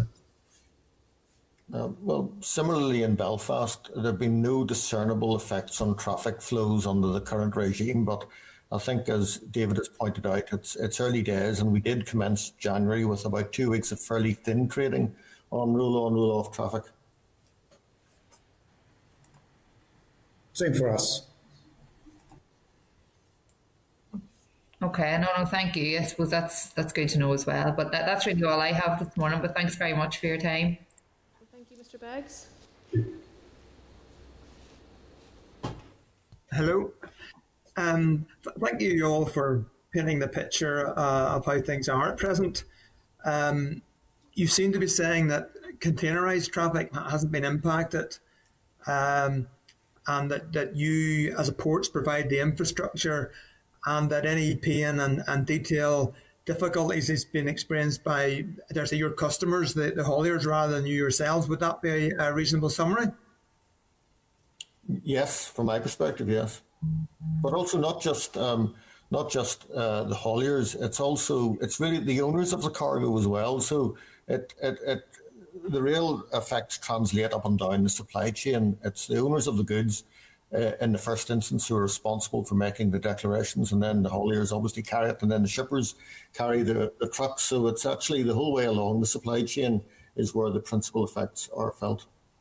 Okay, that, that, I think that's very valuable to for you to uh, acknowledge that because someone who doesn't uh, recognize that might come away from this thinking everything's okay. Um, now, would I would you also agree that it's Roro traffic, which is, tends to be time sensitive? Um, products perhaps with shelf life, uh, the agri-food industry, are those the, the most sensitive items that you see being transmitted across the RIC, which there is potential huge losses um, to, to businesses and hauliers if there is undue delays. Would that be correct? Yes. Okay. Okay. Thanks for that. Um, you've also indicated that that uh, you believe that some of the delays and problems at Dublin have in uh, some of the northern uh, carriers moving to to um, Cairnryan, Larne, or Cairnryan, Belfast, and that that may well have kept your, your, your traffic up a little bit. Um, so my question there is to Ricardo. Ricardo, um, PNORC, uh, I take it you're also responsible for the Dublin, uh, Liverpool, as well as uh, Larne, uh, Ryan. Is that correct? Yeah, it's not me directly, but I've got good um, good information on that. If that, yeah. So are, are you picking up that hauliers are uh, some of the traffic coming into Northern Ireland Roro is as a result of diversion from Dublin because of the problems there? For certain. Okay. And the problems there is because of the SPS rules, which have yet to be introduced here. Is that correct? Potentially, yes. Um, the, the, the, it's not the only problem, but that certainly causes a, a, an issue. Uh, we mustn't forget that, again, there's a lot of uh, businesses that are not trading, so this isn't a normal. We have all the COVID restrictions that also hamper the, the, the overall traffic, but certainly it has affected much less this corridor than the middle corridor or the southern corridor. Okay. In, in terms of the um, the east-west corridor uh, from Northern Ireland, then uh, I understand that groupage is, is an, there's an issue with groupage uh, because of the level of bureaucracy. Mm-hmm. Uh, is there uh, what percentage of groupage is coming through compared to what would normally come through? Uh, that's a hard one to to cover because even as P and O, we aren't the shipper, so we not necessarily know what's in the containers. But it wouldn't be a wild assumption to say that there has been a big impact on groupage due to the bureaucracy involved. But you know, quantifying it will be difficult because we don't see what's in the container. Okay. So that is lots of smaller pallets or even individual parcels which are going direct to customers. So so yeah. potentially many, many, many people are, are being impacted. In terms of then the uh, restrictions that have come in, in terms of preventing, um, I dare say, uh, uh, uh restricting animal movement down to, to guide dogs, um, requiring, requiring uh, uh, pet passports, etc. seed potatoes, how much seed potatoes would have previously come in? Would that have been many loads or it's hard to say. Uh, at the moment, the volumes are so subdued that you know, in general, general cargo, that it, it's hard to say. I think uh, you know, COVID might be masking the true impact of it. So. If we release, you know, as we might be released uh, from COVID restrictions at the same time as the easements are ending, that might be a problem. But it's very hard, even for me, to, to, to gauge that. It would be good to talk to the hauliers, so they they should make representation to this. They will have a better a better, a far better view on this. So again, have you no knowledge of uh, the impact on garden centres, or is just all plant products ceased? No, I wouldn't have a meaningful, a meaningful contribution to making that one uh, because we look on aggregate volumes. Again, we don't see what's in the containers. Okay, okay. I think it's been very helpful, but I think it's also important that the committee realises, just as you said there, you have a limited knowledge and there's lots of things that are in play. Mm-hmm. And uh, my final question is the the um, exemptions are due to come to an end on the 1st of April. Um, uh, how do you think that will impact the volume and uh, the level of delays compared to Dublin? Should uh, should they come in on the 1st of April? It's a difficult one because, uh, again, it depends on what the total volume of trade is uh, is flowing through through the ports. And we, although we, we withstood the you know the, the 8th of January quite well, should there be more checks and more volume at the same time, you could potentially see an issue, uh, which is not that far from what happened between Dublin and Liverpool. Okay. Thank you very much. It's been very helpful. Thank you, Mr. Boylan. Yeah, thanks, Chair, and thanks for the presentations. Um, just a couple of points. Obviously, and, and I appreciate what Mr. Beggs said about limited, having limited information, but the ports are the first call in terms of the overall economy because I remember we visited Belfast Port way back a number of years ago and they were the first ones to pick up the downturn in the economy in terms of the volumes of stuff coming onto the island. So it's, it's a key product in relation to that. But I just want to talk about clearly you're saying there the volumes, be it right across the board in terms of all the ports operations. they're, they're steady and they haven't been impacted. But you clearly had your post plan, and then unfortunately, COVID has hit us. In, in, terms of your overall business plan and where you're at now, and it's, it's right across the board to, to, all of you, is one that's speaking that. In relation to your, your actual business plan and trying to deal with COVID and your post Brexit plan, would you like to just expand a wee bit on that, where you are in relation to that, your overall business plan? Or are you not getting the right sense of it because things won't happen within the last six or eight weeks and, and, and it's, it's hard to gauge that? Well, I can start from Belfast, and the answer is exactly as you've just described. The, the port industry typically does see sort of month on month fluctuations in traffic. So we would never try to gauge traffic levels or a pattern uh, from one short period of six weeks. Uh, that's, I think I made that point right at the very, very start. I mean, approximately so far, it looks to be it's running roughly an expectation on freight traffic, but I think as David mentioned earlier on, there's an element of displacement from Dublin that's maybe boosting that. So there are just too many uncertain moving parts, including COVID. So I, I would say, you know, we would really have to reserve our position and say that we can't really give you a, a discernible view on what the, the, current situation is, and won't be able to until we have uh, a longer spell of trading to look at. I, I, I do absolutely agree that the ports are uh, a, a, very useful barometer of, of, of the overall economy. I think in terms in terms of Warrenpoint, our, our key strategic focus more recently has been on maintaining and developing um, capacity, capability, and efficiency. Um, because you know, seven, seven or eight weeks ago, not, none of us knew, none of us could have known exactly how the you know EU exit Brexit was actually going to play out. Mm. Uh, was there going to be a hard date, hard crash? We, we just didn't know where we were going to be. So um, you know, on, on, on that on that basis, it's you know we we start now to, to regroup and reevaluate and see where, where, where the where the opportunities and threats are and, and see how we can best dovetail uh, you know our, our investment and resources to, to, to meeting the demands of the local economy because ultimately, I mean, ports enjoy derived business. It, it, it is those other components of the supply chain that will determine how busy the port is. It's not a case of you know build a port and the, and the volume will come. Yeah. You know, it's, it's the supply chain that, that will generate that volume. We have to try and make sure that we don't hamper um, the flow of that supply chain.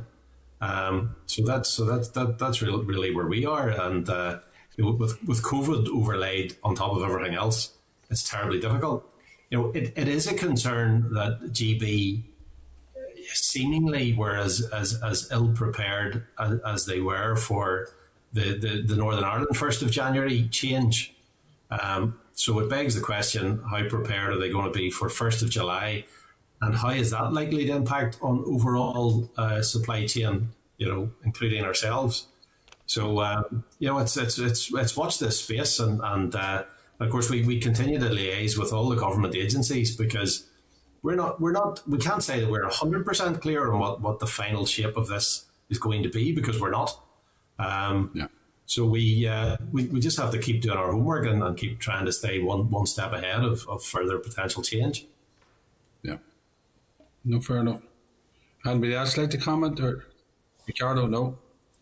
Yeah, our biggest impact has been on the tourist market, which has all but disappeared, and that would have been a big, big uh, chunk of our business in terms of you know passenger freight in general, not necessarily just tourists. And um, interestingly, uh, Brexit doesn't really affect that in any way, but it does affect us now because of COVID. Yeah. So our focus at the moment is to uh, plan for the re-emergence of passengers traveling on our ships, and that's more linked to the vaccines than anything else. Of course, then we have to, you know, the planning that was paused at the end of 2019 or early 2020 uh, for the strategic investment in the port now can resume, but having more clarity on free ports and uh, impact on other potential checks that will certainly, uh, you know, be a factor on our decision making.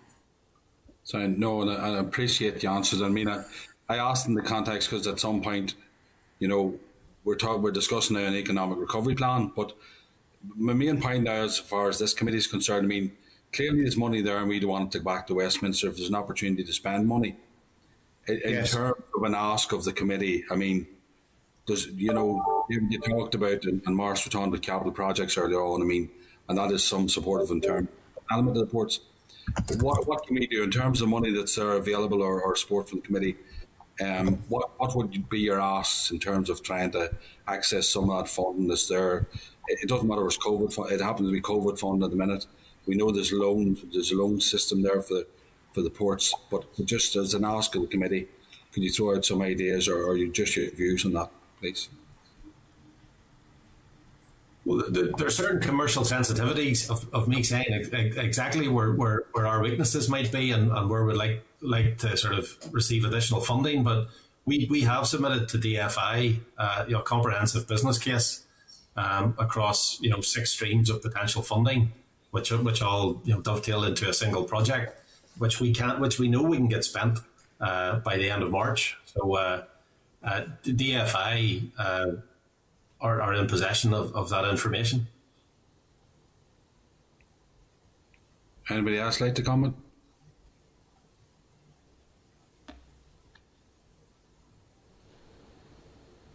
Hello, Morris? No. Uh, well, look, just we're also in discussion with DFI about, about funding, but I mean, I think as David says, a lot of these things are subject to commercial confidentiality. But we, you know, but I think we can be assured that we keep a, an active line with DFI officials on this. No, and, and listen, it's, it's not. I, I'm, I'm not. A, I'm not trying to. I'm not trying to acquire any more information. All we know is there's there's there's monies available, and I'm sure we as committee members will try and assist if that's the case. And I asked it in, in that context. It's not. You know, I understand the commercial sensitivities, and know the committee. We, we're trying to encourage, you know, people to to bid for as much money, each department to bid for as much money as they can to assist businesses. And I asked it only in that context. So I mean, I, I, don't I don't ask you to go into any other sensitivities in relation to that. But uh, just just my final point because there's a lot of questions that's been asked and answered in relation to volumes and everything else. I understand some ports have the granting of an office of transit status and an authorised economic operator. Could you explain what sort of advantages that brings, and do all ports have this, or can you can you respond to that, please? Well, I, I can I can make a start. Is is about the best I can do in that one. So Belfast Harbour is an authorised economic operator, and um, basically. Uh, the, the- basic regime is that when goods come into a port, they have to come in under customs control in some form or another, be it under temporary storage or be it under uh, the pre-lodgement model. And if you have an authorised economic operator status, in my belief anyway, that that streamlines uh, that process. So that's uh, the EU side. The Office of Transit is a slightly more difficult one to answer, and the reason for that is the issue of scale, because um, transit conventions are where goods are moved, say, from Northern Ireland through a third party to the European Union. Uh, traditionally, we didn't see a huge amount of direct traffic directly from Northern Ireland to the European Union through the roll on roll off methodology. It would be normally through containers. So that is one of those areas where it's too early to say because until we see the new trading patterns settle out, we do not know what the impact of that will be.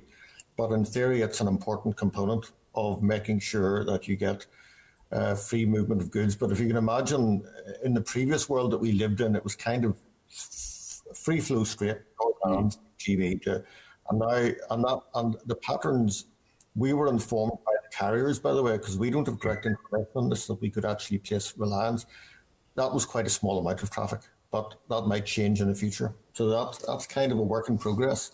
I know that's maybe not entirely clear answer, but it is it is very much a work in progress at the moment. In, in the case of Warrenpoint, we we upgraded uh, to the AEOC status um, because to, to use a metaphor, if, if, if, if you're if you're going to stay in a five star hotel, you know it's going to have a nice restaurant and it's going to have a swimming pool and all the rest of it. Um, anybody considering um, using Warrenpoint Port as a as, as a as a discharge destination will know that we have you know um, the, the the best of customs arrangements in place. You know, there- is an assurance there to any potential customers.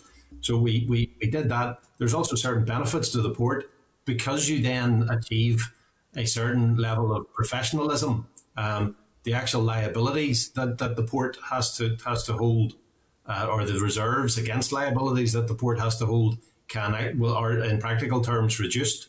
So there, there is an investment in getting to that standard, but you know there, there, there, are benefits that come back.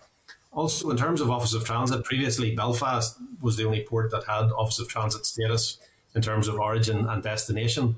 So again, it, for the benefit of our customers, and we're not sure how much it's likely to be used, it means that anybody who, who any cargo that has been involved in a third country or it's on its way to a third country, um, you know, can, can use Warrenpoint without without having to go to Belfast to get paperwork filled in. So again, it's it's it's about trying to offer best possible customer service. Okay, thank you. Just Chair, that, yeah, that's me. Thank you very much. Thanks for the presentation, gentlemen. thank you, um, Mrs. Kelly. Finally, Sorry, Chair. Thanks very much, everyone. Uh, my question, Chair, will be brief. It was just in relation to the projects and uh, whether or not any of your financial projects um, and business cases relied in the past upon EU funding. Um, that's all. Um, well, Belfast, I, I, think we can go first. Um, I, I can't answer that exactly, but not since about the year 1990.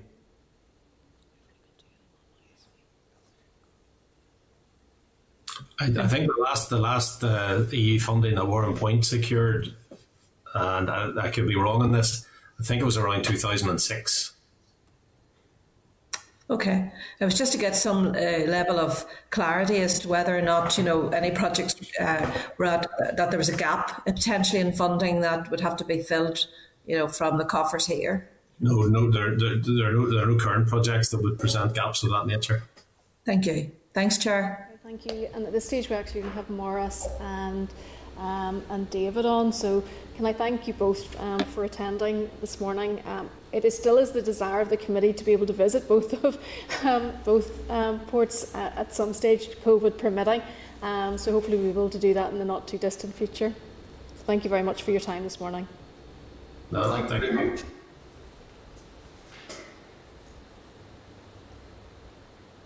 members. Just to follow up on that, obviously Liz had suggested perhaps we write to the minister just in relation to infrastructure projects. I suppose it would be quite difficult for us to give a, a sort of a blanket support in relation to any of that because we don't know the detail of it, and, and, and obviously there they were um, confidential um, business cases applying to a lot of that, but. I suppose we could just reflect the fact that we had met with them today and we were aware that they had bids in, and I suppose um, that we were sort of broadly supportive of, of the work of the ports, but um, without knowing the detail of it, I think it would be quite difficult for us. Yeah, sure. Even just I suppose that it's, it is prioritised because I think it's you know time's running out, so it's just to, to even highlight how important it is that the department deals with this fairly quickly, and if we, if we can get financial support to them, we do. this is just really in respect of the whole issues around COVID. I'm guessing too. Okay. Sure. Mr. Boylan and Mrs. Kelly. No, no, thanks, Chair. I, I mean, appreciate it. Sorry, Dolores. If you want to go in, Dolores, you're okay. You want to go first? Go ahead. Go ahead. No, no, no Chair. I would. I agree with Liz. I would ask in, in, in respect of the Brexit challenges and obviously clearly COVID challenges. I, I mean, uh, I understand there's commercial sensitivities, but I'm sure there may be some kind of package in there that would support the ports in relation to those two measures. Um, I would look at that you know, in respect of those two measures, you know. Uh, sorry, Chair. Mine was just a more general point. I mean, uh, obviously, we're in the last few weeks now of any potential bid for uh, end of year funding, and I just wonder: is there any merit in uh, asking the Finance Committee to look at what departments have returned very late on and whether it should be better financial management throughout the year. Because um, I understand that some departments are returning substantial sums that potentially infrastructure and others could have made use of earlier in the year had there been a heads up. But, but I do appreciate it's been a very difficult year for all ministers coping with uh, the pandemic and, and the funding streams from that. But I just wonder, should we should we write to the finance committee just to express some concerns that we are hearing uh, that there are um, um, some organisations and companies that could avail of uh, monitoring round funding, but that it's much too late when it comes to January round, and uh, an earlier alert system would be preferable. Okay, moving then, and I'm very mindful actually because I know that Glenn has to leave at a quarter past 12, so we don't have a, a huge amount of time.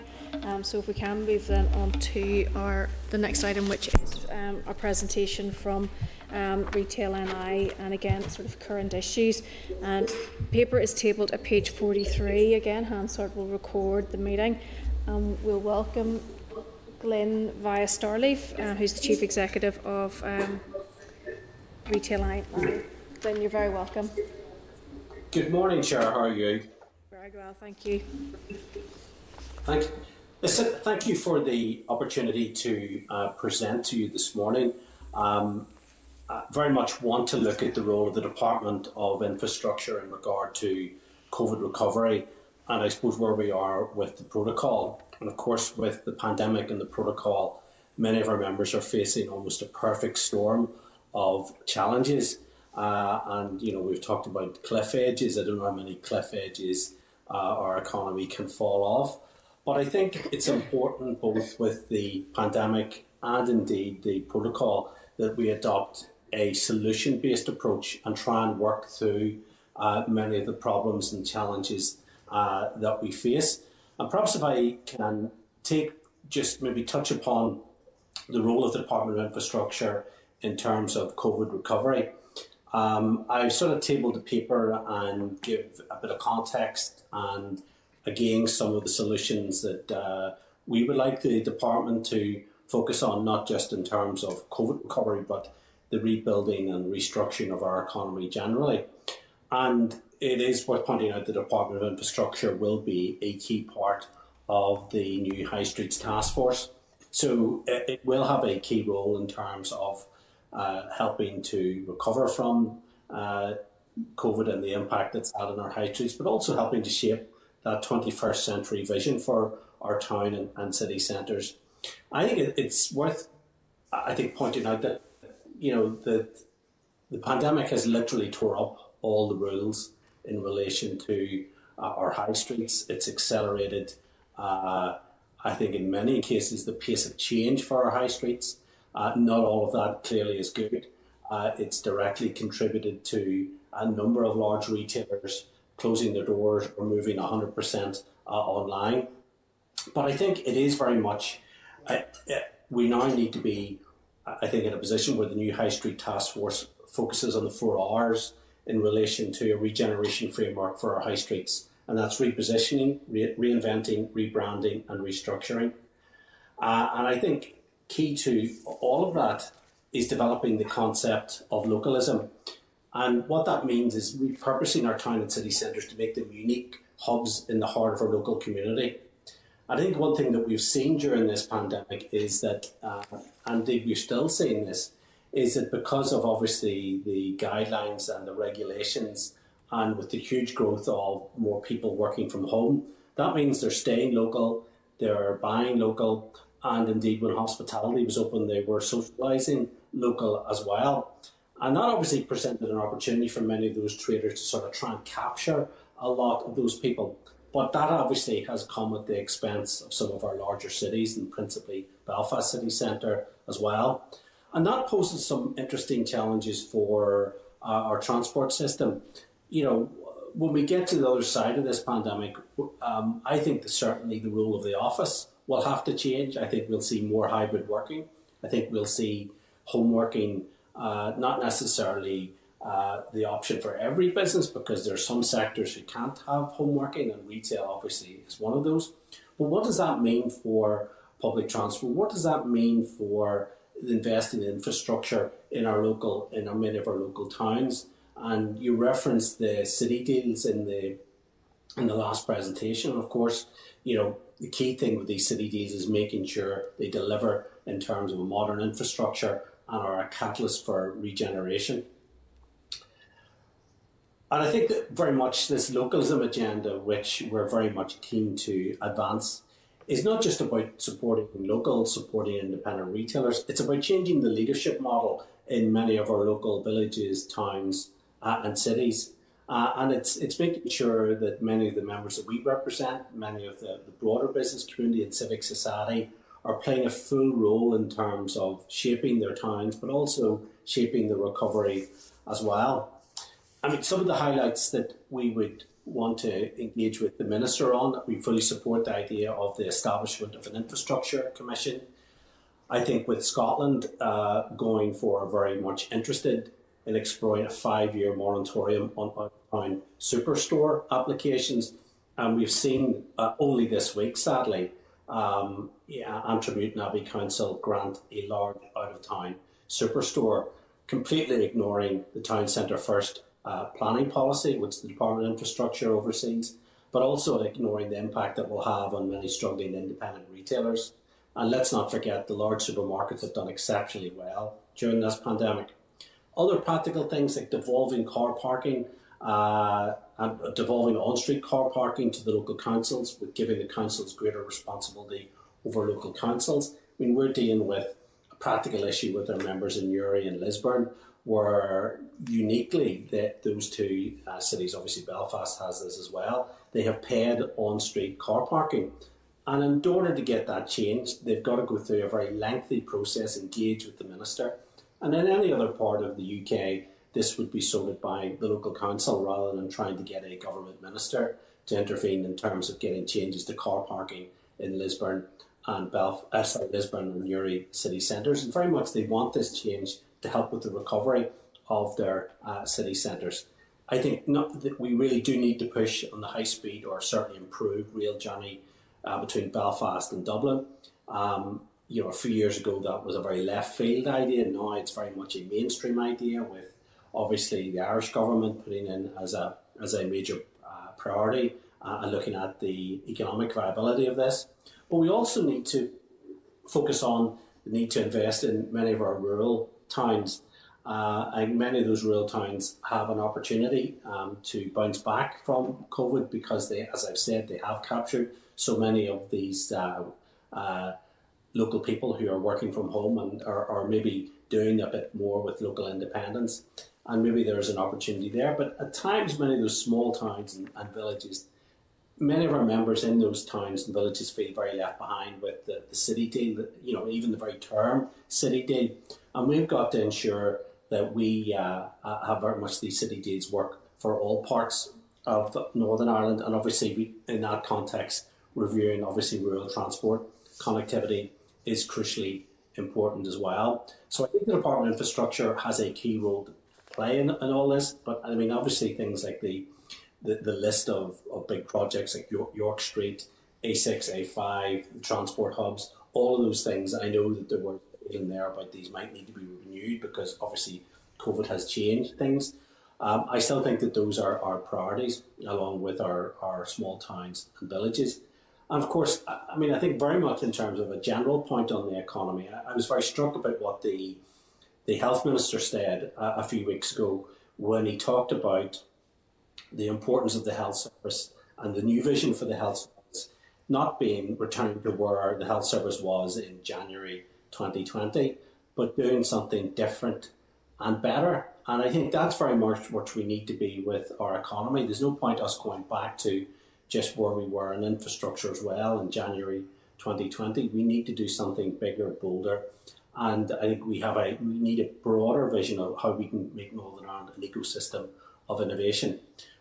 Just turning to uh, where we are with the, the pandemic, I think there's absolute doubt that we need to adopt a solution based approach and have a laser like focus on what the solutions are to uh, the many challenges with the, the protocol. There's no doubt that we need, uh, we do need uh, a further extension in the grace periods. Um, obviously, we're facing one this week, um, and I think that you know it's not just about extending these grace periods just for the sake of it or kicking the can down the road. We do need long-term solutions to uh, these challenges.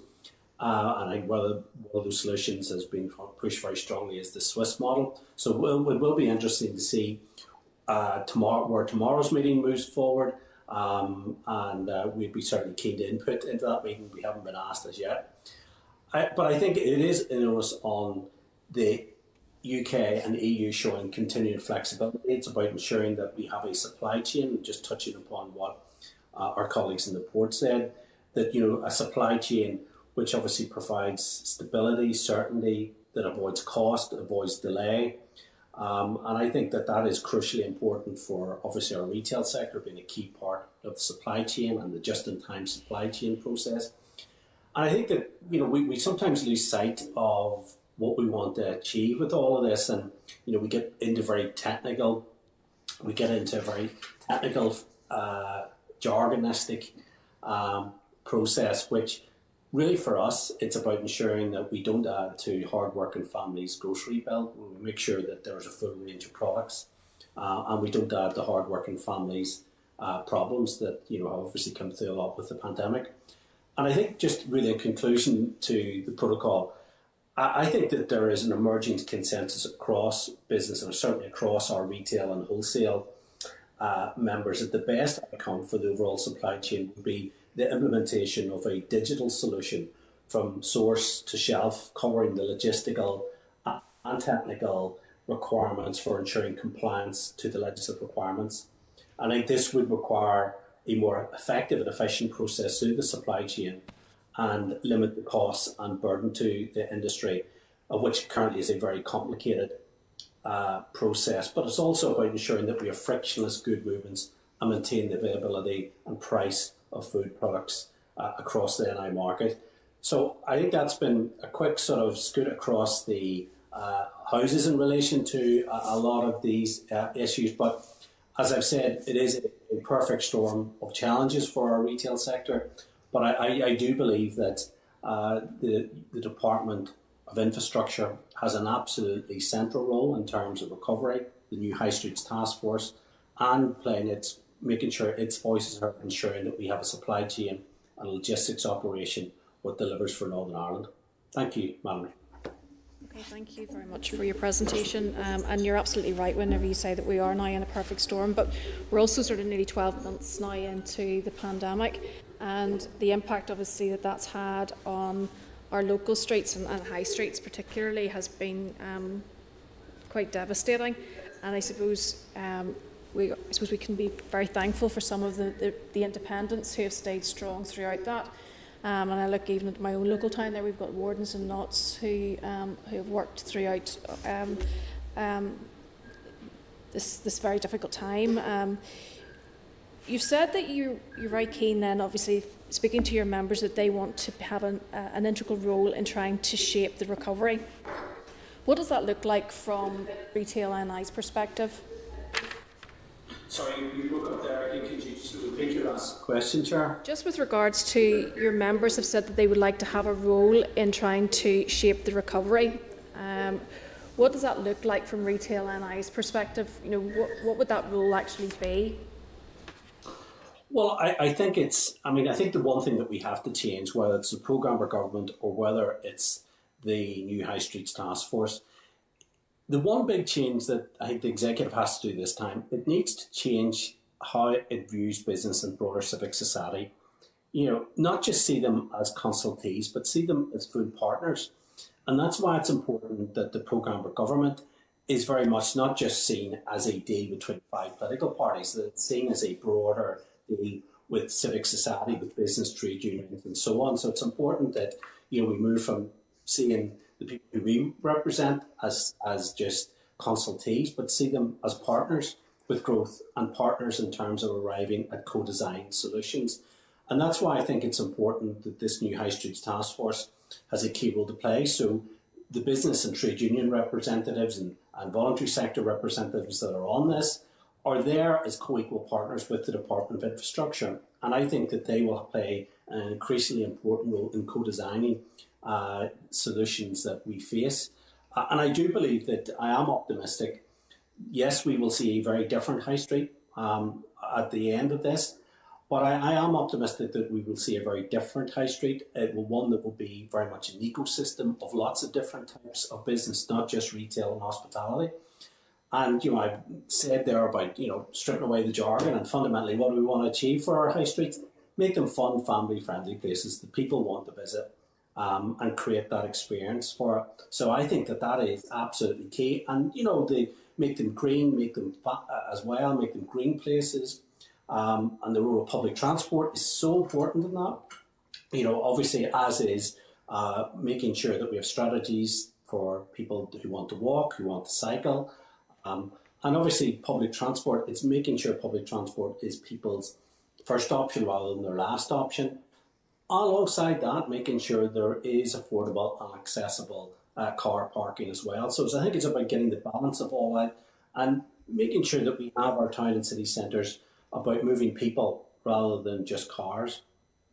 Okay, you've made a number of suggestions in your paper. Um, one in particular is, as with Scotland, we need a five-year moratorium on out-of-town superstore applications. Um, obviously, planning can be quite slow anyway, um, so that moratorium may happen reg- regardless of a policy. Um, have you any data which um, has reflected any success with regards to that, even be it Scotland or elsewhere, um, for recovery of, of town centres? Well, I, I, I, I, think that firstly, the um, sorry, I'm just getting off. Hi, can you hear me okay? I, I think there's the, sorry, I'm getting a, a lot of feedback. Are you? Hello. We can hear you. Hi. Uh, uh, well, I think that firstly, because the Department of Infrastructure. Sorry, I can't hear. I'm getting a huge amount of feedback. I can't.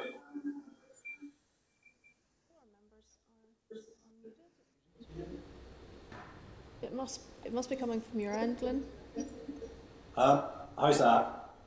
Well, that seems a bit better, but I, I, I think that you know obviously the Department of Infrastructure sets this policy in in relation to um, planning. So it does it it it has an important voice in all this, and obviously, it, councils do have a key role in terms of uh, granting planning permission. But I, I mean, one of the key reasons why Northern Ireland has the highest shop vacancy rate in the UK is because, it's not the only reason, is because you know the huge amount of out of town retail development which has been granted in recent years, and of course, it was deeply unfortunate that um, Antrim Newtownabbey Council only a few days ago granted permission for a huge out of town store, which will take 90% from local stores um, complete in contradiction to the, the Department of Infrastructure's town centre first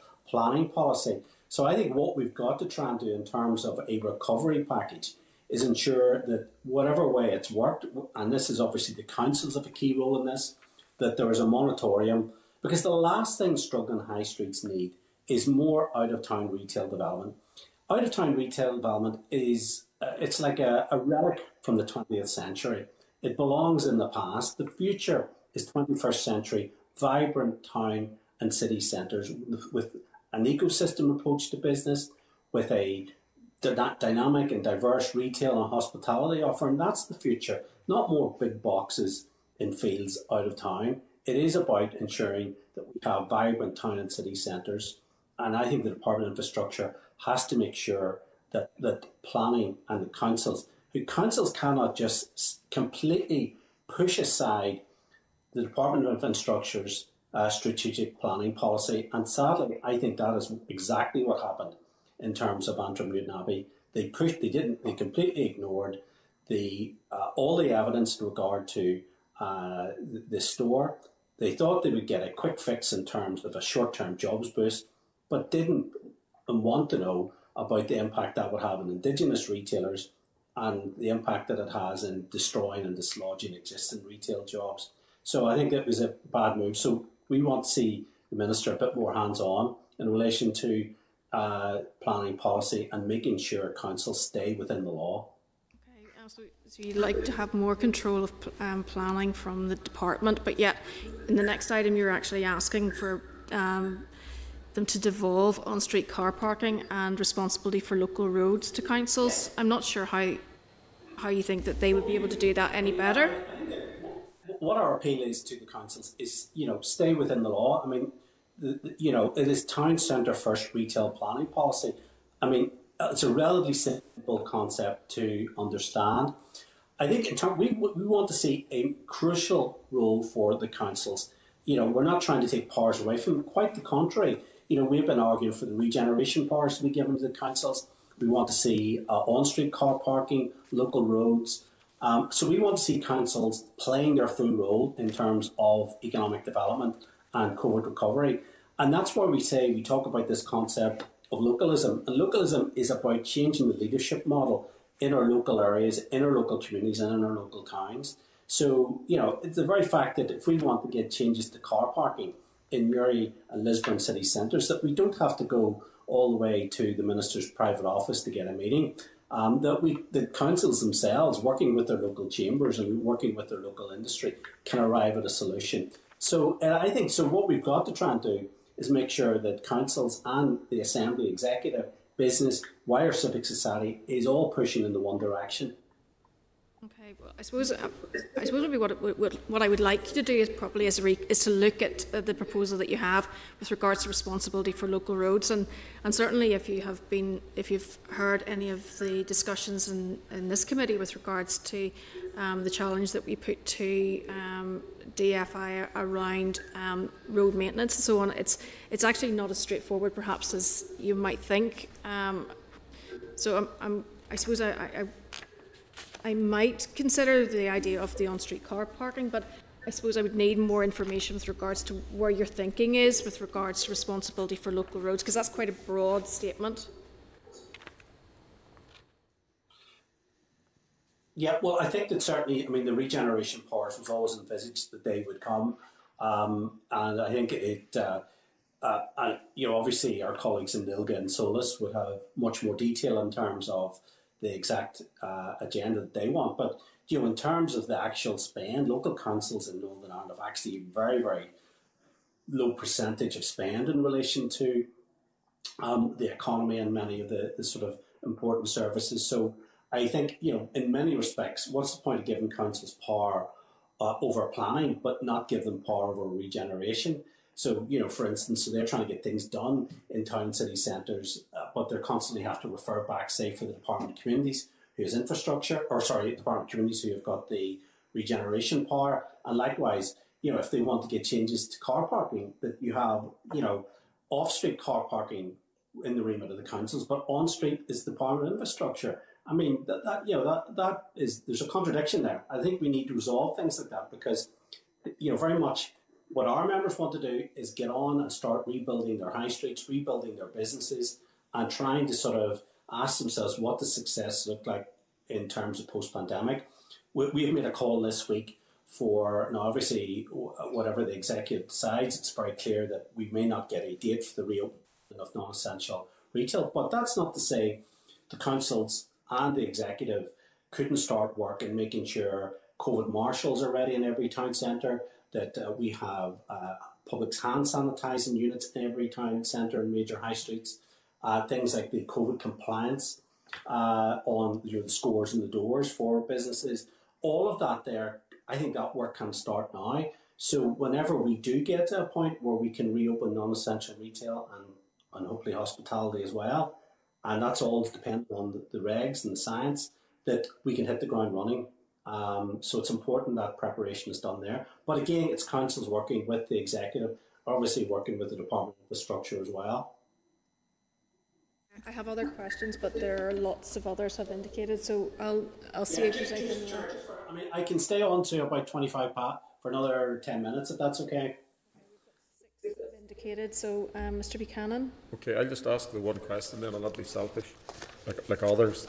That's right, Chair. A rural town investment and infrastructure investments fund line you've put on your paper here should be reduced. What, does that mean on, on, on what ideas would you do? You know, what are you going to do with that investment fund? Invest in what? Well, I, I think it's about ensuring that uh, the infrastructure in many of the town centres uh, in many rural areas is uh, that there is investment in that. It's making sure that, for instance, the transport infrastructure supports uh, many of those towns. Uh, so I think it is about ensuring that, you know, to use that term, that we level up all parts of Northern Ireland. So, you know, it's making sure that, uh, you know, that our, that many of our small rural towns, you know, are uh, able to not just survive, but thrive as well. So I think, you know, the Department of Infrastructure has a key role in that. I mean, one of the things we've talked about quite a lot about uh, the, the Bars Borough uh, what I'd like to see is obviously, and this takes in part Tom and your constituency, you know, is is you know, do we get to the point where we re-establish the rail network out to the west again? Um, I think that would be a much better investment than uh, a tunnel between Scotland and Northern Ireland. But what we've got to make sure is the roads network, all of that there, supports those towns. You know, supports you know Magherafelt, supports Cookstown, uh, all of those you know in Mid Ulster um, which uh, you know there's some many fine independent retailers. So we want to make sure that the infrastructure investment for those towns is there, and that they themselves get uh, you know a slice of the action in relation to uh, the city and growth deals. A final quick point: when you referred to on-street parking charges or you know town centre parking, you know where, which could be run by councils, and obviously that's the position in Cookstown, Magherafelt. We have been lobbying to try and remove in Cookstown, for example you park for one hour. Local retailers want to move that to two hours. Now, I appreciate it's not an issue today, but that is an issue to get people back into the town centres because getting into a shop is not a 15 minute operation anymore or 20. It takes longer if, if a, man or woman has a few children, etc. The whole hand sanitizer, the social distance, and the queuing. Is that something you're directly lobbying for within the DFI to get those town centres user friendly for parking, whether it's council parking or DFI on street parking or time restraints on that parking? Um, uh, sorry, I, I, didn't pick up earlier. The, the, the, line is not great, but I picked up some of what, what you said. Um, I think that what, what you know, part of what we're trying to do in terms of of getting our our towns and our high streets ready for reopening, it's primarily by giving the confidence to shoppers and consumers um, that our high streets are safe for them to go back to. And obviously, uh, our, our members have spent millions making sure their stores are COVID compliant. But what we've got to make sure is the external environment in our high streets and our town centres uh, is up to scratch. One of the things that I observed um, during the, the uh, you lose touch when we're in lockdown and when we're not in lockdown is you know that two week period uh, in December when uh, retail and hospitality was uh, reopened. The, the COVID marshals, the hand sanitizing, and the scores and doors it was patchy. Some councils were doing it better than others. And then what we've got and what we've said to the executive office is we need them to uh, ensure that there is a framework, that they produce a framework for councils um, to make sure that there is uniform across the board in, in, in all our major town and city centres and high streets. So I think, and obviously retailers are very keen to be part of that discussion. Um, and uh, you know we're very uh, um, you know we put a number of suggestions. I think one of the things we'd like to see in practical terms come out of tomorrow's executive meeting is the restoration of click and collect uh, on a strictly uh, appointment only basis. I think that will be an important lifeline and a first step in this sort of roadmap for reopening. Thank you, Chair. Okay, thank you, Mr. Muir.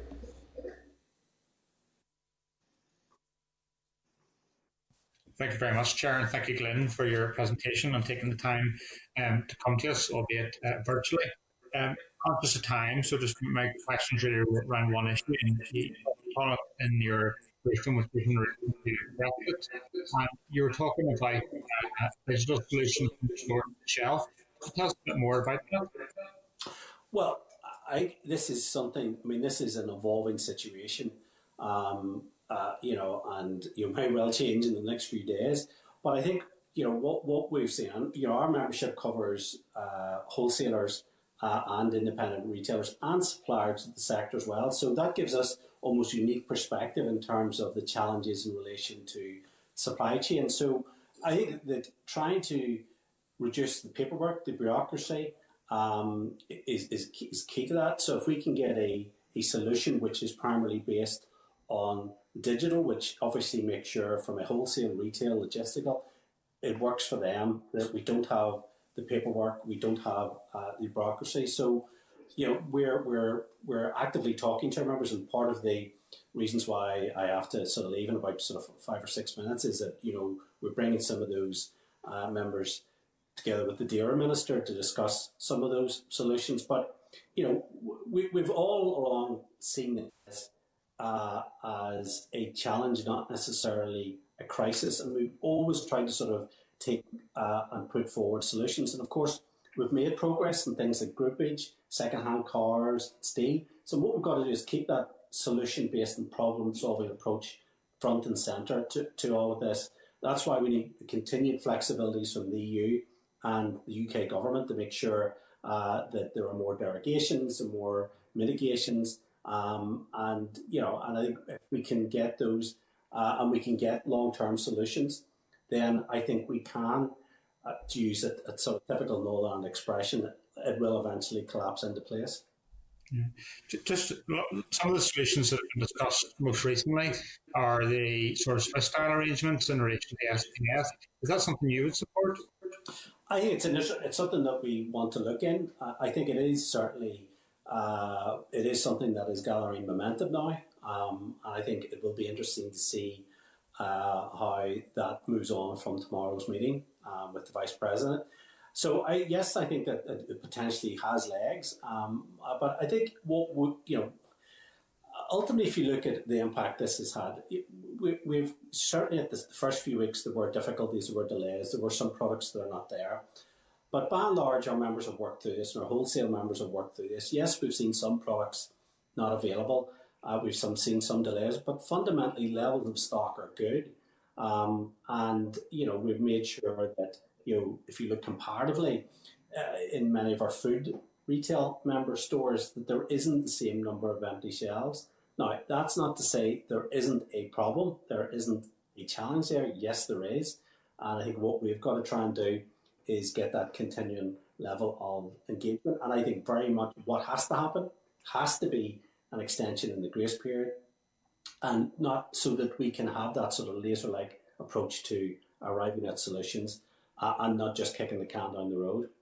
Yeah. Lastly, um, just in terms of independent retailers, my local independent food retailer, which is the Mason Brunswick Road, uh, a nice little plug, uh, is a great store because it sources a lot of its goods locally. And, you know, the protocol and the arrangements that we're in place now means that Northern Ireland can trade, trade with the EU and also the GC uh, in a much better state, really, compared to other businesses in GB. Uh, are, are, you seeing people taking benefit of that fact that, that, that there is freedom in Northern Ireland to be able to work locally? Well, I think you know supporting local has always been the bottom line for many of our wholesale and retail members, so it's nothing new. And I think there could be the possibility uh, of increased trade for many of those local businesses. And what we've tried to do in Retail NI is that um, we've brought a lot of those new manufacturers, producers into our membership, and we've tried to connect them up to our retail and wholesale members and trying to be their route to market. So, um, Mash Direct's route to market, uh, quite a few years ago now, was through one of our members in Killaloe.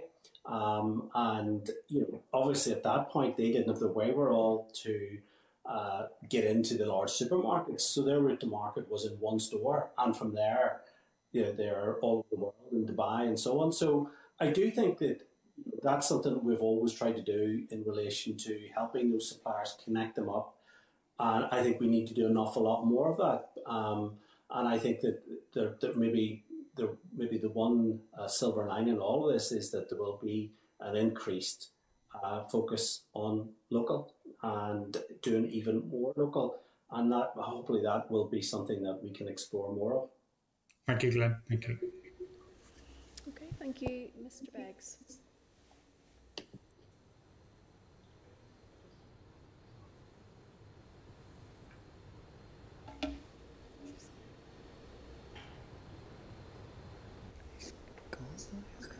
Voice doesn't seem to be there. Um, Ms. Kimmins? Sorry, Chair, thank you. Just a very quick one because I know we talked at length about the, the car parking and enforcement. I mean, as a representative from Newry, I'm sure you're not surprised. It's an issue that's been raised with me quite a lot, and it's something I've raised continuously with the minister.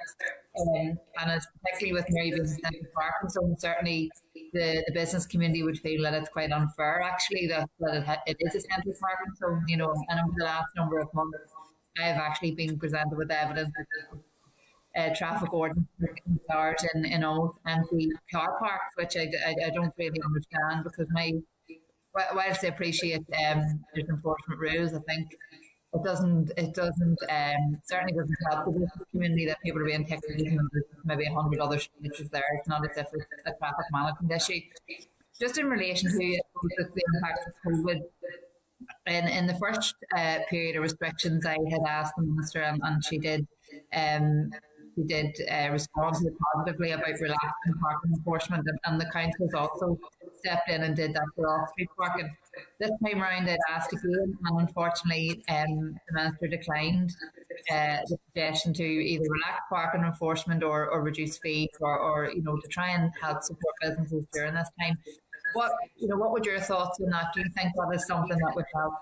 And um, particularly as you say, we don't really know when um, reopening will be announced at this stage. It's, it's maybe a phased approach, I'm not sure, but uh, is that something you think would be a good support to businesses as we move forward? Well, I think we need to get car parking right. I think the difficulty that we've had even way before the pandemic is almost this overzealous approach of uh, many of the traffic uh, wardens. I know this has been a particular problem in Newry, uh, in Newry city centre. Um, and I think you know, we recognise they have a job to do. It is we do need traffic enforcement. We need the turnover of cars in, in, in our town and city centres and our high streets. I think there is a particular uh, problem uh, in Newry and Lisburn in the fact that you're, you know, that you're, as you said, your on-street car parking you pay for, um, whereas in Armagh or in Banbridge, your first hour on on street is free. And you're probably thinking, you know, that's not a great deal, but it is a great deal for those traders.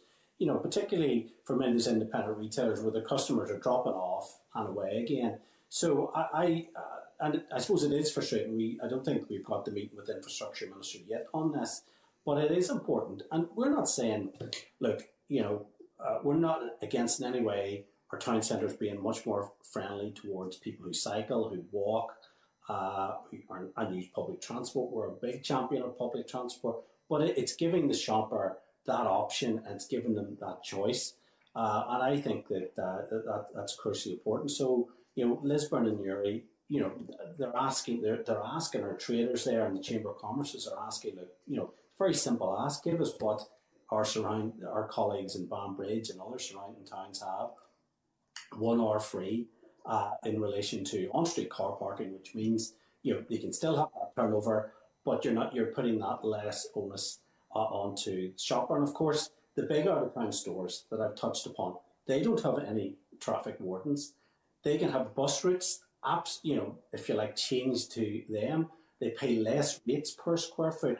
So those big out-of-town stores have a competitive disadvantage or a competitive advantage to many of our town and city centres and you know what? If we're serious about this recovery, that needs to stop.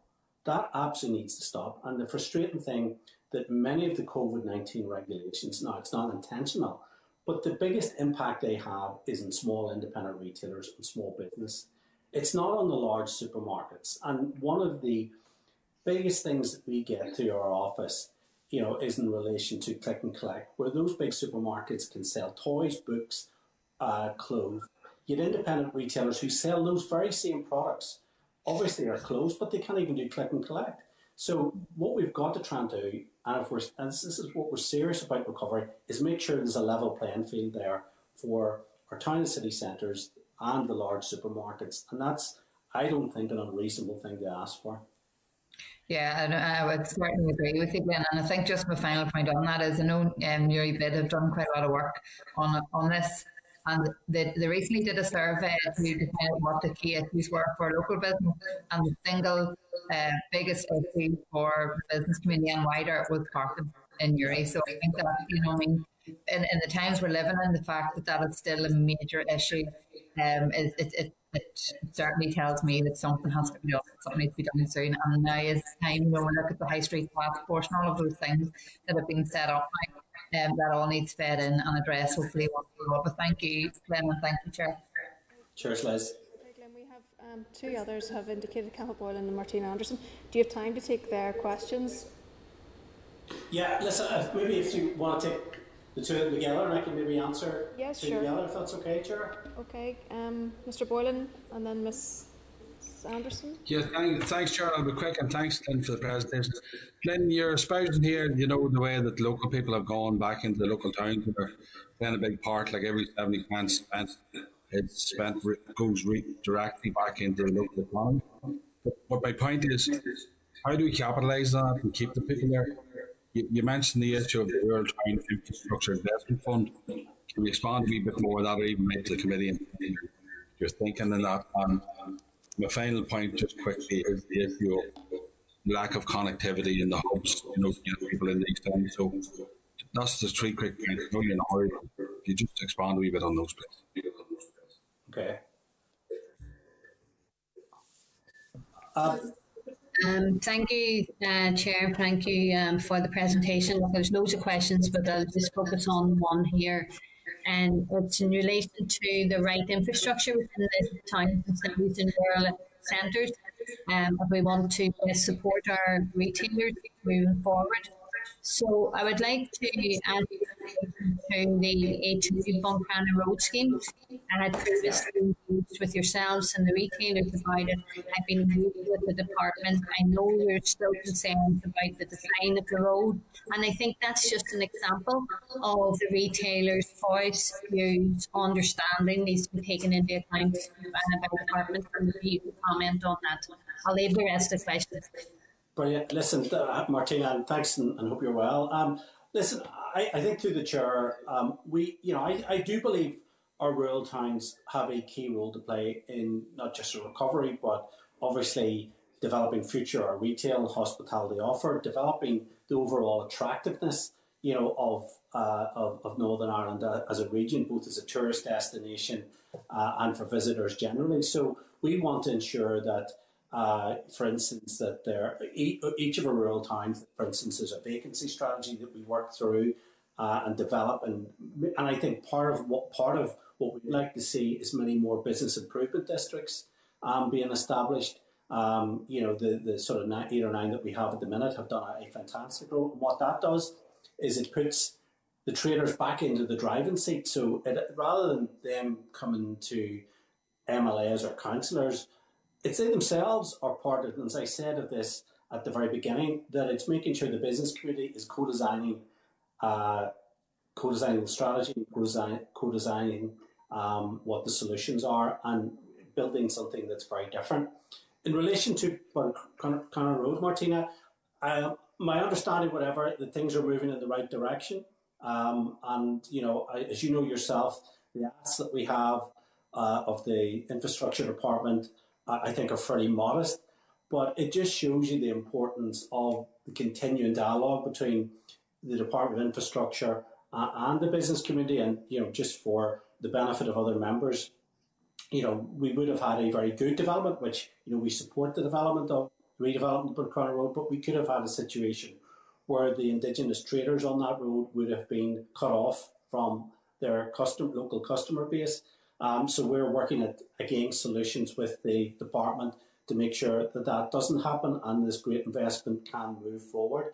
So I mean, I think maybe just in conclusion, I it, it underlines the need for, as the minister has said, an infrastructure commission um, that brings together some of those key players um, and charts a, lo- a, a longer term future. But you know, we see things like the High Street Task Force not as a silver bullet, um, but also, but you know, as a means to an end. Um, so I think that you know what we've got to focus on uh, is the recovery, and I think that the Department of Infrastructure and the role of this committee has a key role to play in terms of that future debate. So, Chair, thank you very much. Apologies, I I can't um, stay longer, but I have a, a minister on, on another line. Okay, thank you. Thank, thank you. Okay, members. Any other comments in relation to that? Stage? No? Okay, we'll move on then to our forward work programme. Just on that, I mean, obviously, Dan was he, didn't go back on some of the points. Just maybe you could clarify in relation to those couple of points about connectivity and about um, the the structural fund. He mentioned the investment fund. Maybe we can come back a wee bit more on that if we write to him again. Yeah. Okay, moving then to item 11, which is a forward work programme. Just draw your attention to that at page 143. At next week's meeting, there'll be a briefing from the department on the SL1 for a financial scheme for bus and coach operators. And then we'll have our own sort of short informal session just looking at um, forward work planning. Um, and there'll be a present, uh, presentation by the Assembly researcher. Um, just further on from that, on the 24th of March, um, I'll just remind you that um, we did receive correspondence some time ago from the ERA committee um, with regards to a briefing which they're going to be receiving from TSS and HMRC. And the proposal at that time was for it to be a joint committee session with ourselves, Economy and um, uh, Agriculture Committee. So that's going to take place on the 24th of um, March. We've received correspondence which will be in next week's papers um, from the chair of the economy committee suggesting that, that they would she would actually then be act as the chair of the sitting and um, myself and the ERA committee chair would then act as deputies. Um, there will be a process which will have to be ironed out as to how we would then ask questions because, as you can imagine, there are three committees coming together, so um, that's going to be a bit of a, a challenge. So, um, if you're content, just really to note that in, in the meantime, but it was really just to flag that up that that's coming on the 24th of March. Um, do members have any other business that they'd like to raise at this point? No? Okay. Um, Chair. Mr. Muir? Yes, is it under, under any other business? Yes. Yes. Yeah, it's just um, obviously in recent days we've heard reports in relation to what the UK government plans and the Union Connectivity Review in relation to uh, a physical link between Scotland and Northern Ireland. And um, I would be proposing we write to the department and ask to see what contact and liaison has been made from the UK government and from the UK Connectivity Review to the department because I think it's important that the devolved institutions are given their place in relation to this and given their opportunity to have their say. And I think the first step would be to ascertain whether the department has been contacted in relation to this and whether they have proper review in regards to that. We are, we are aware that the, the Minister has been in contact with um, those carrying out that review and the Minister was to, um, to copy us into her response, so it might be timely for us to ask for that as well. Yeah, it'd be good to get that, Chair, and that would be appreciated. And also to understand whether that contact was initiated by the review and by the UK government, because a number of these announcements are being made without any reference to the devolved institutions. Okay, anything further? Okay, so the, ne the next meeting will take place at 9.30 next Wednesday in room 29. So I propose now that the meeting's adjourned. Thank you. Assembly Senate Chamber Programme Sound. This is the Northern Ireland Assembly Senate Chamber Programme Sound.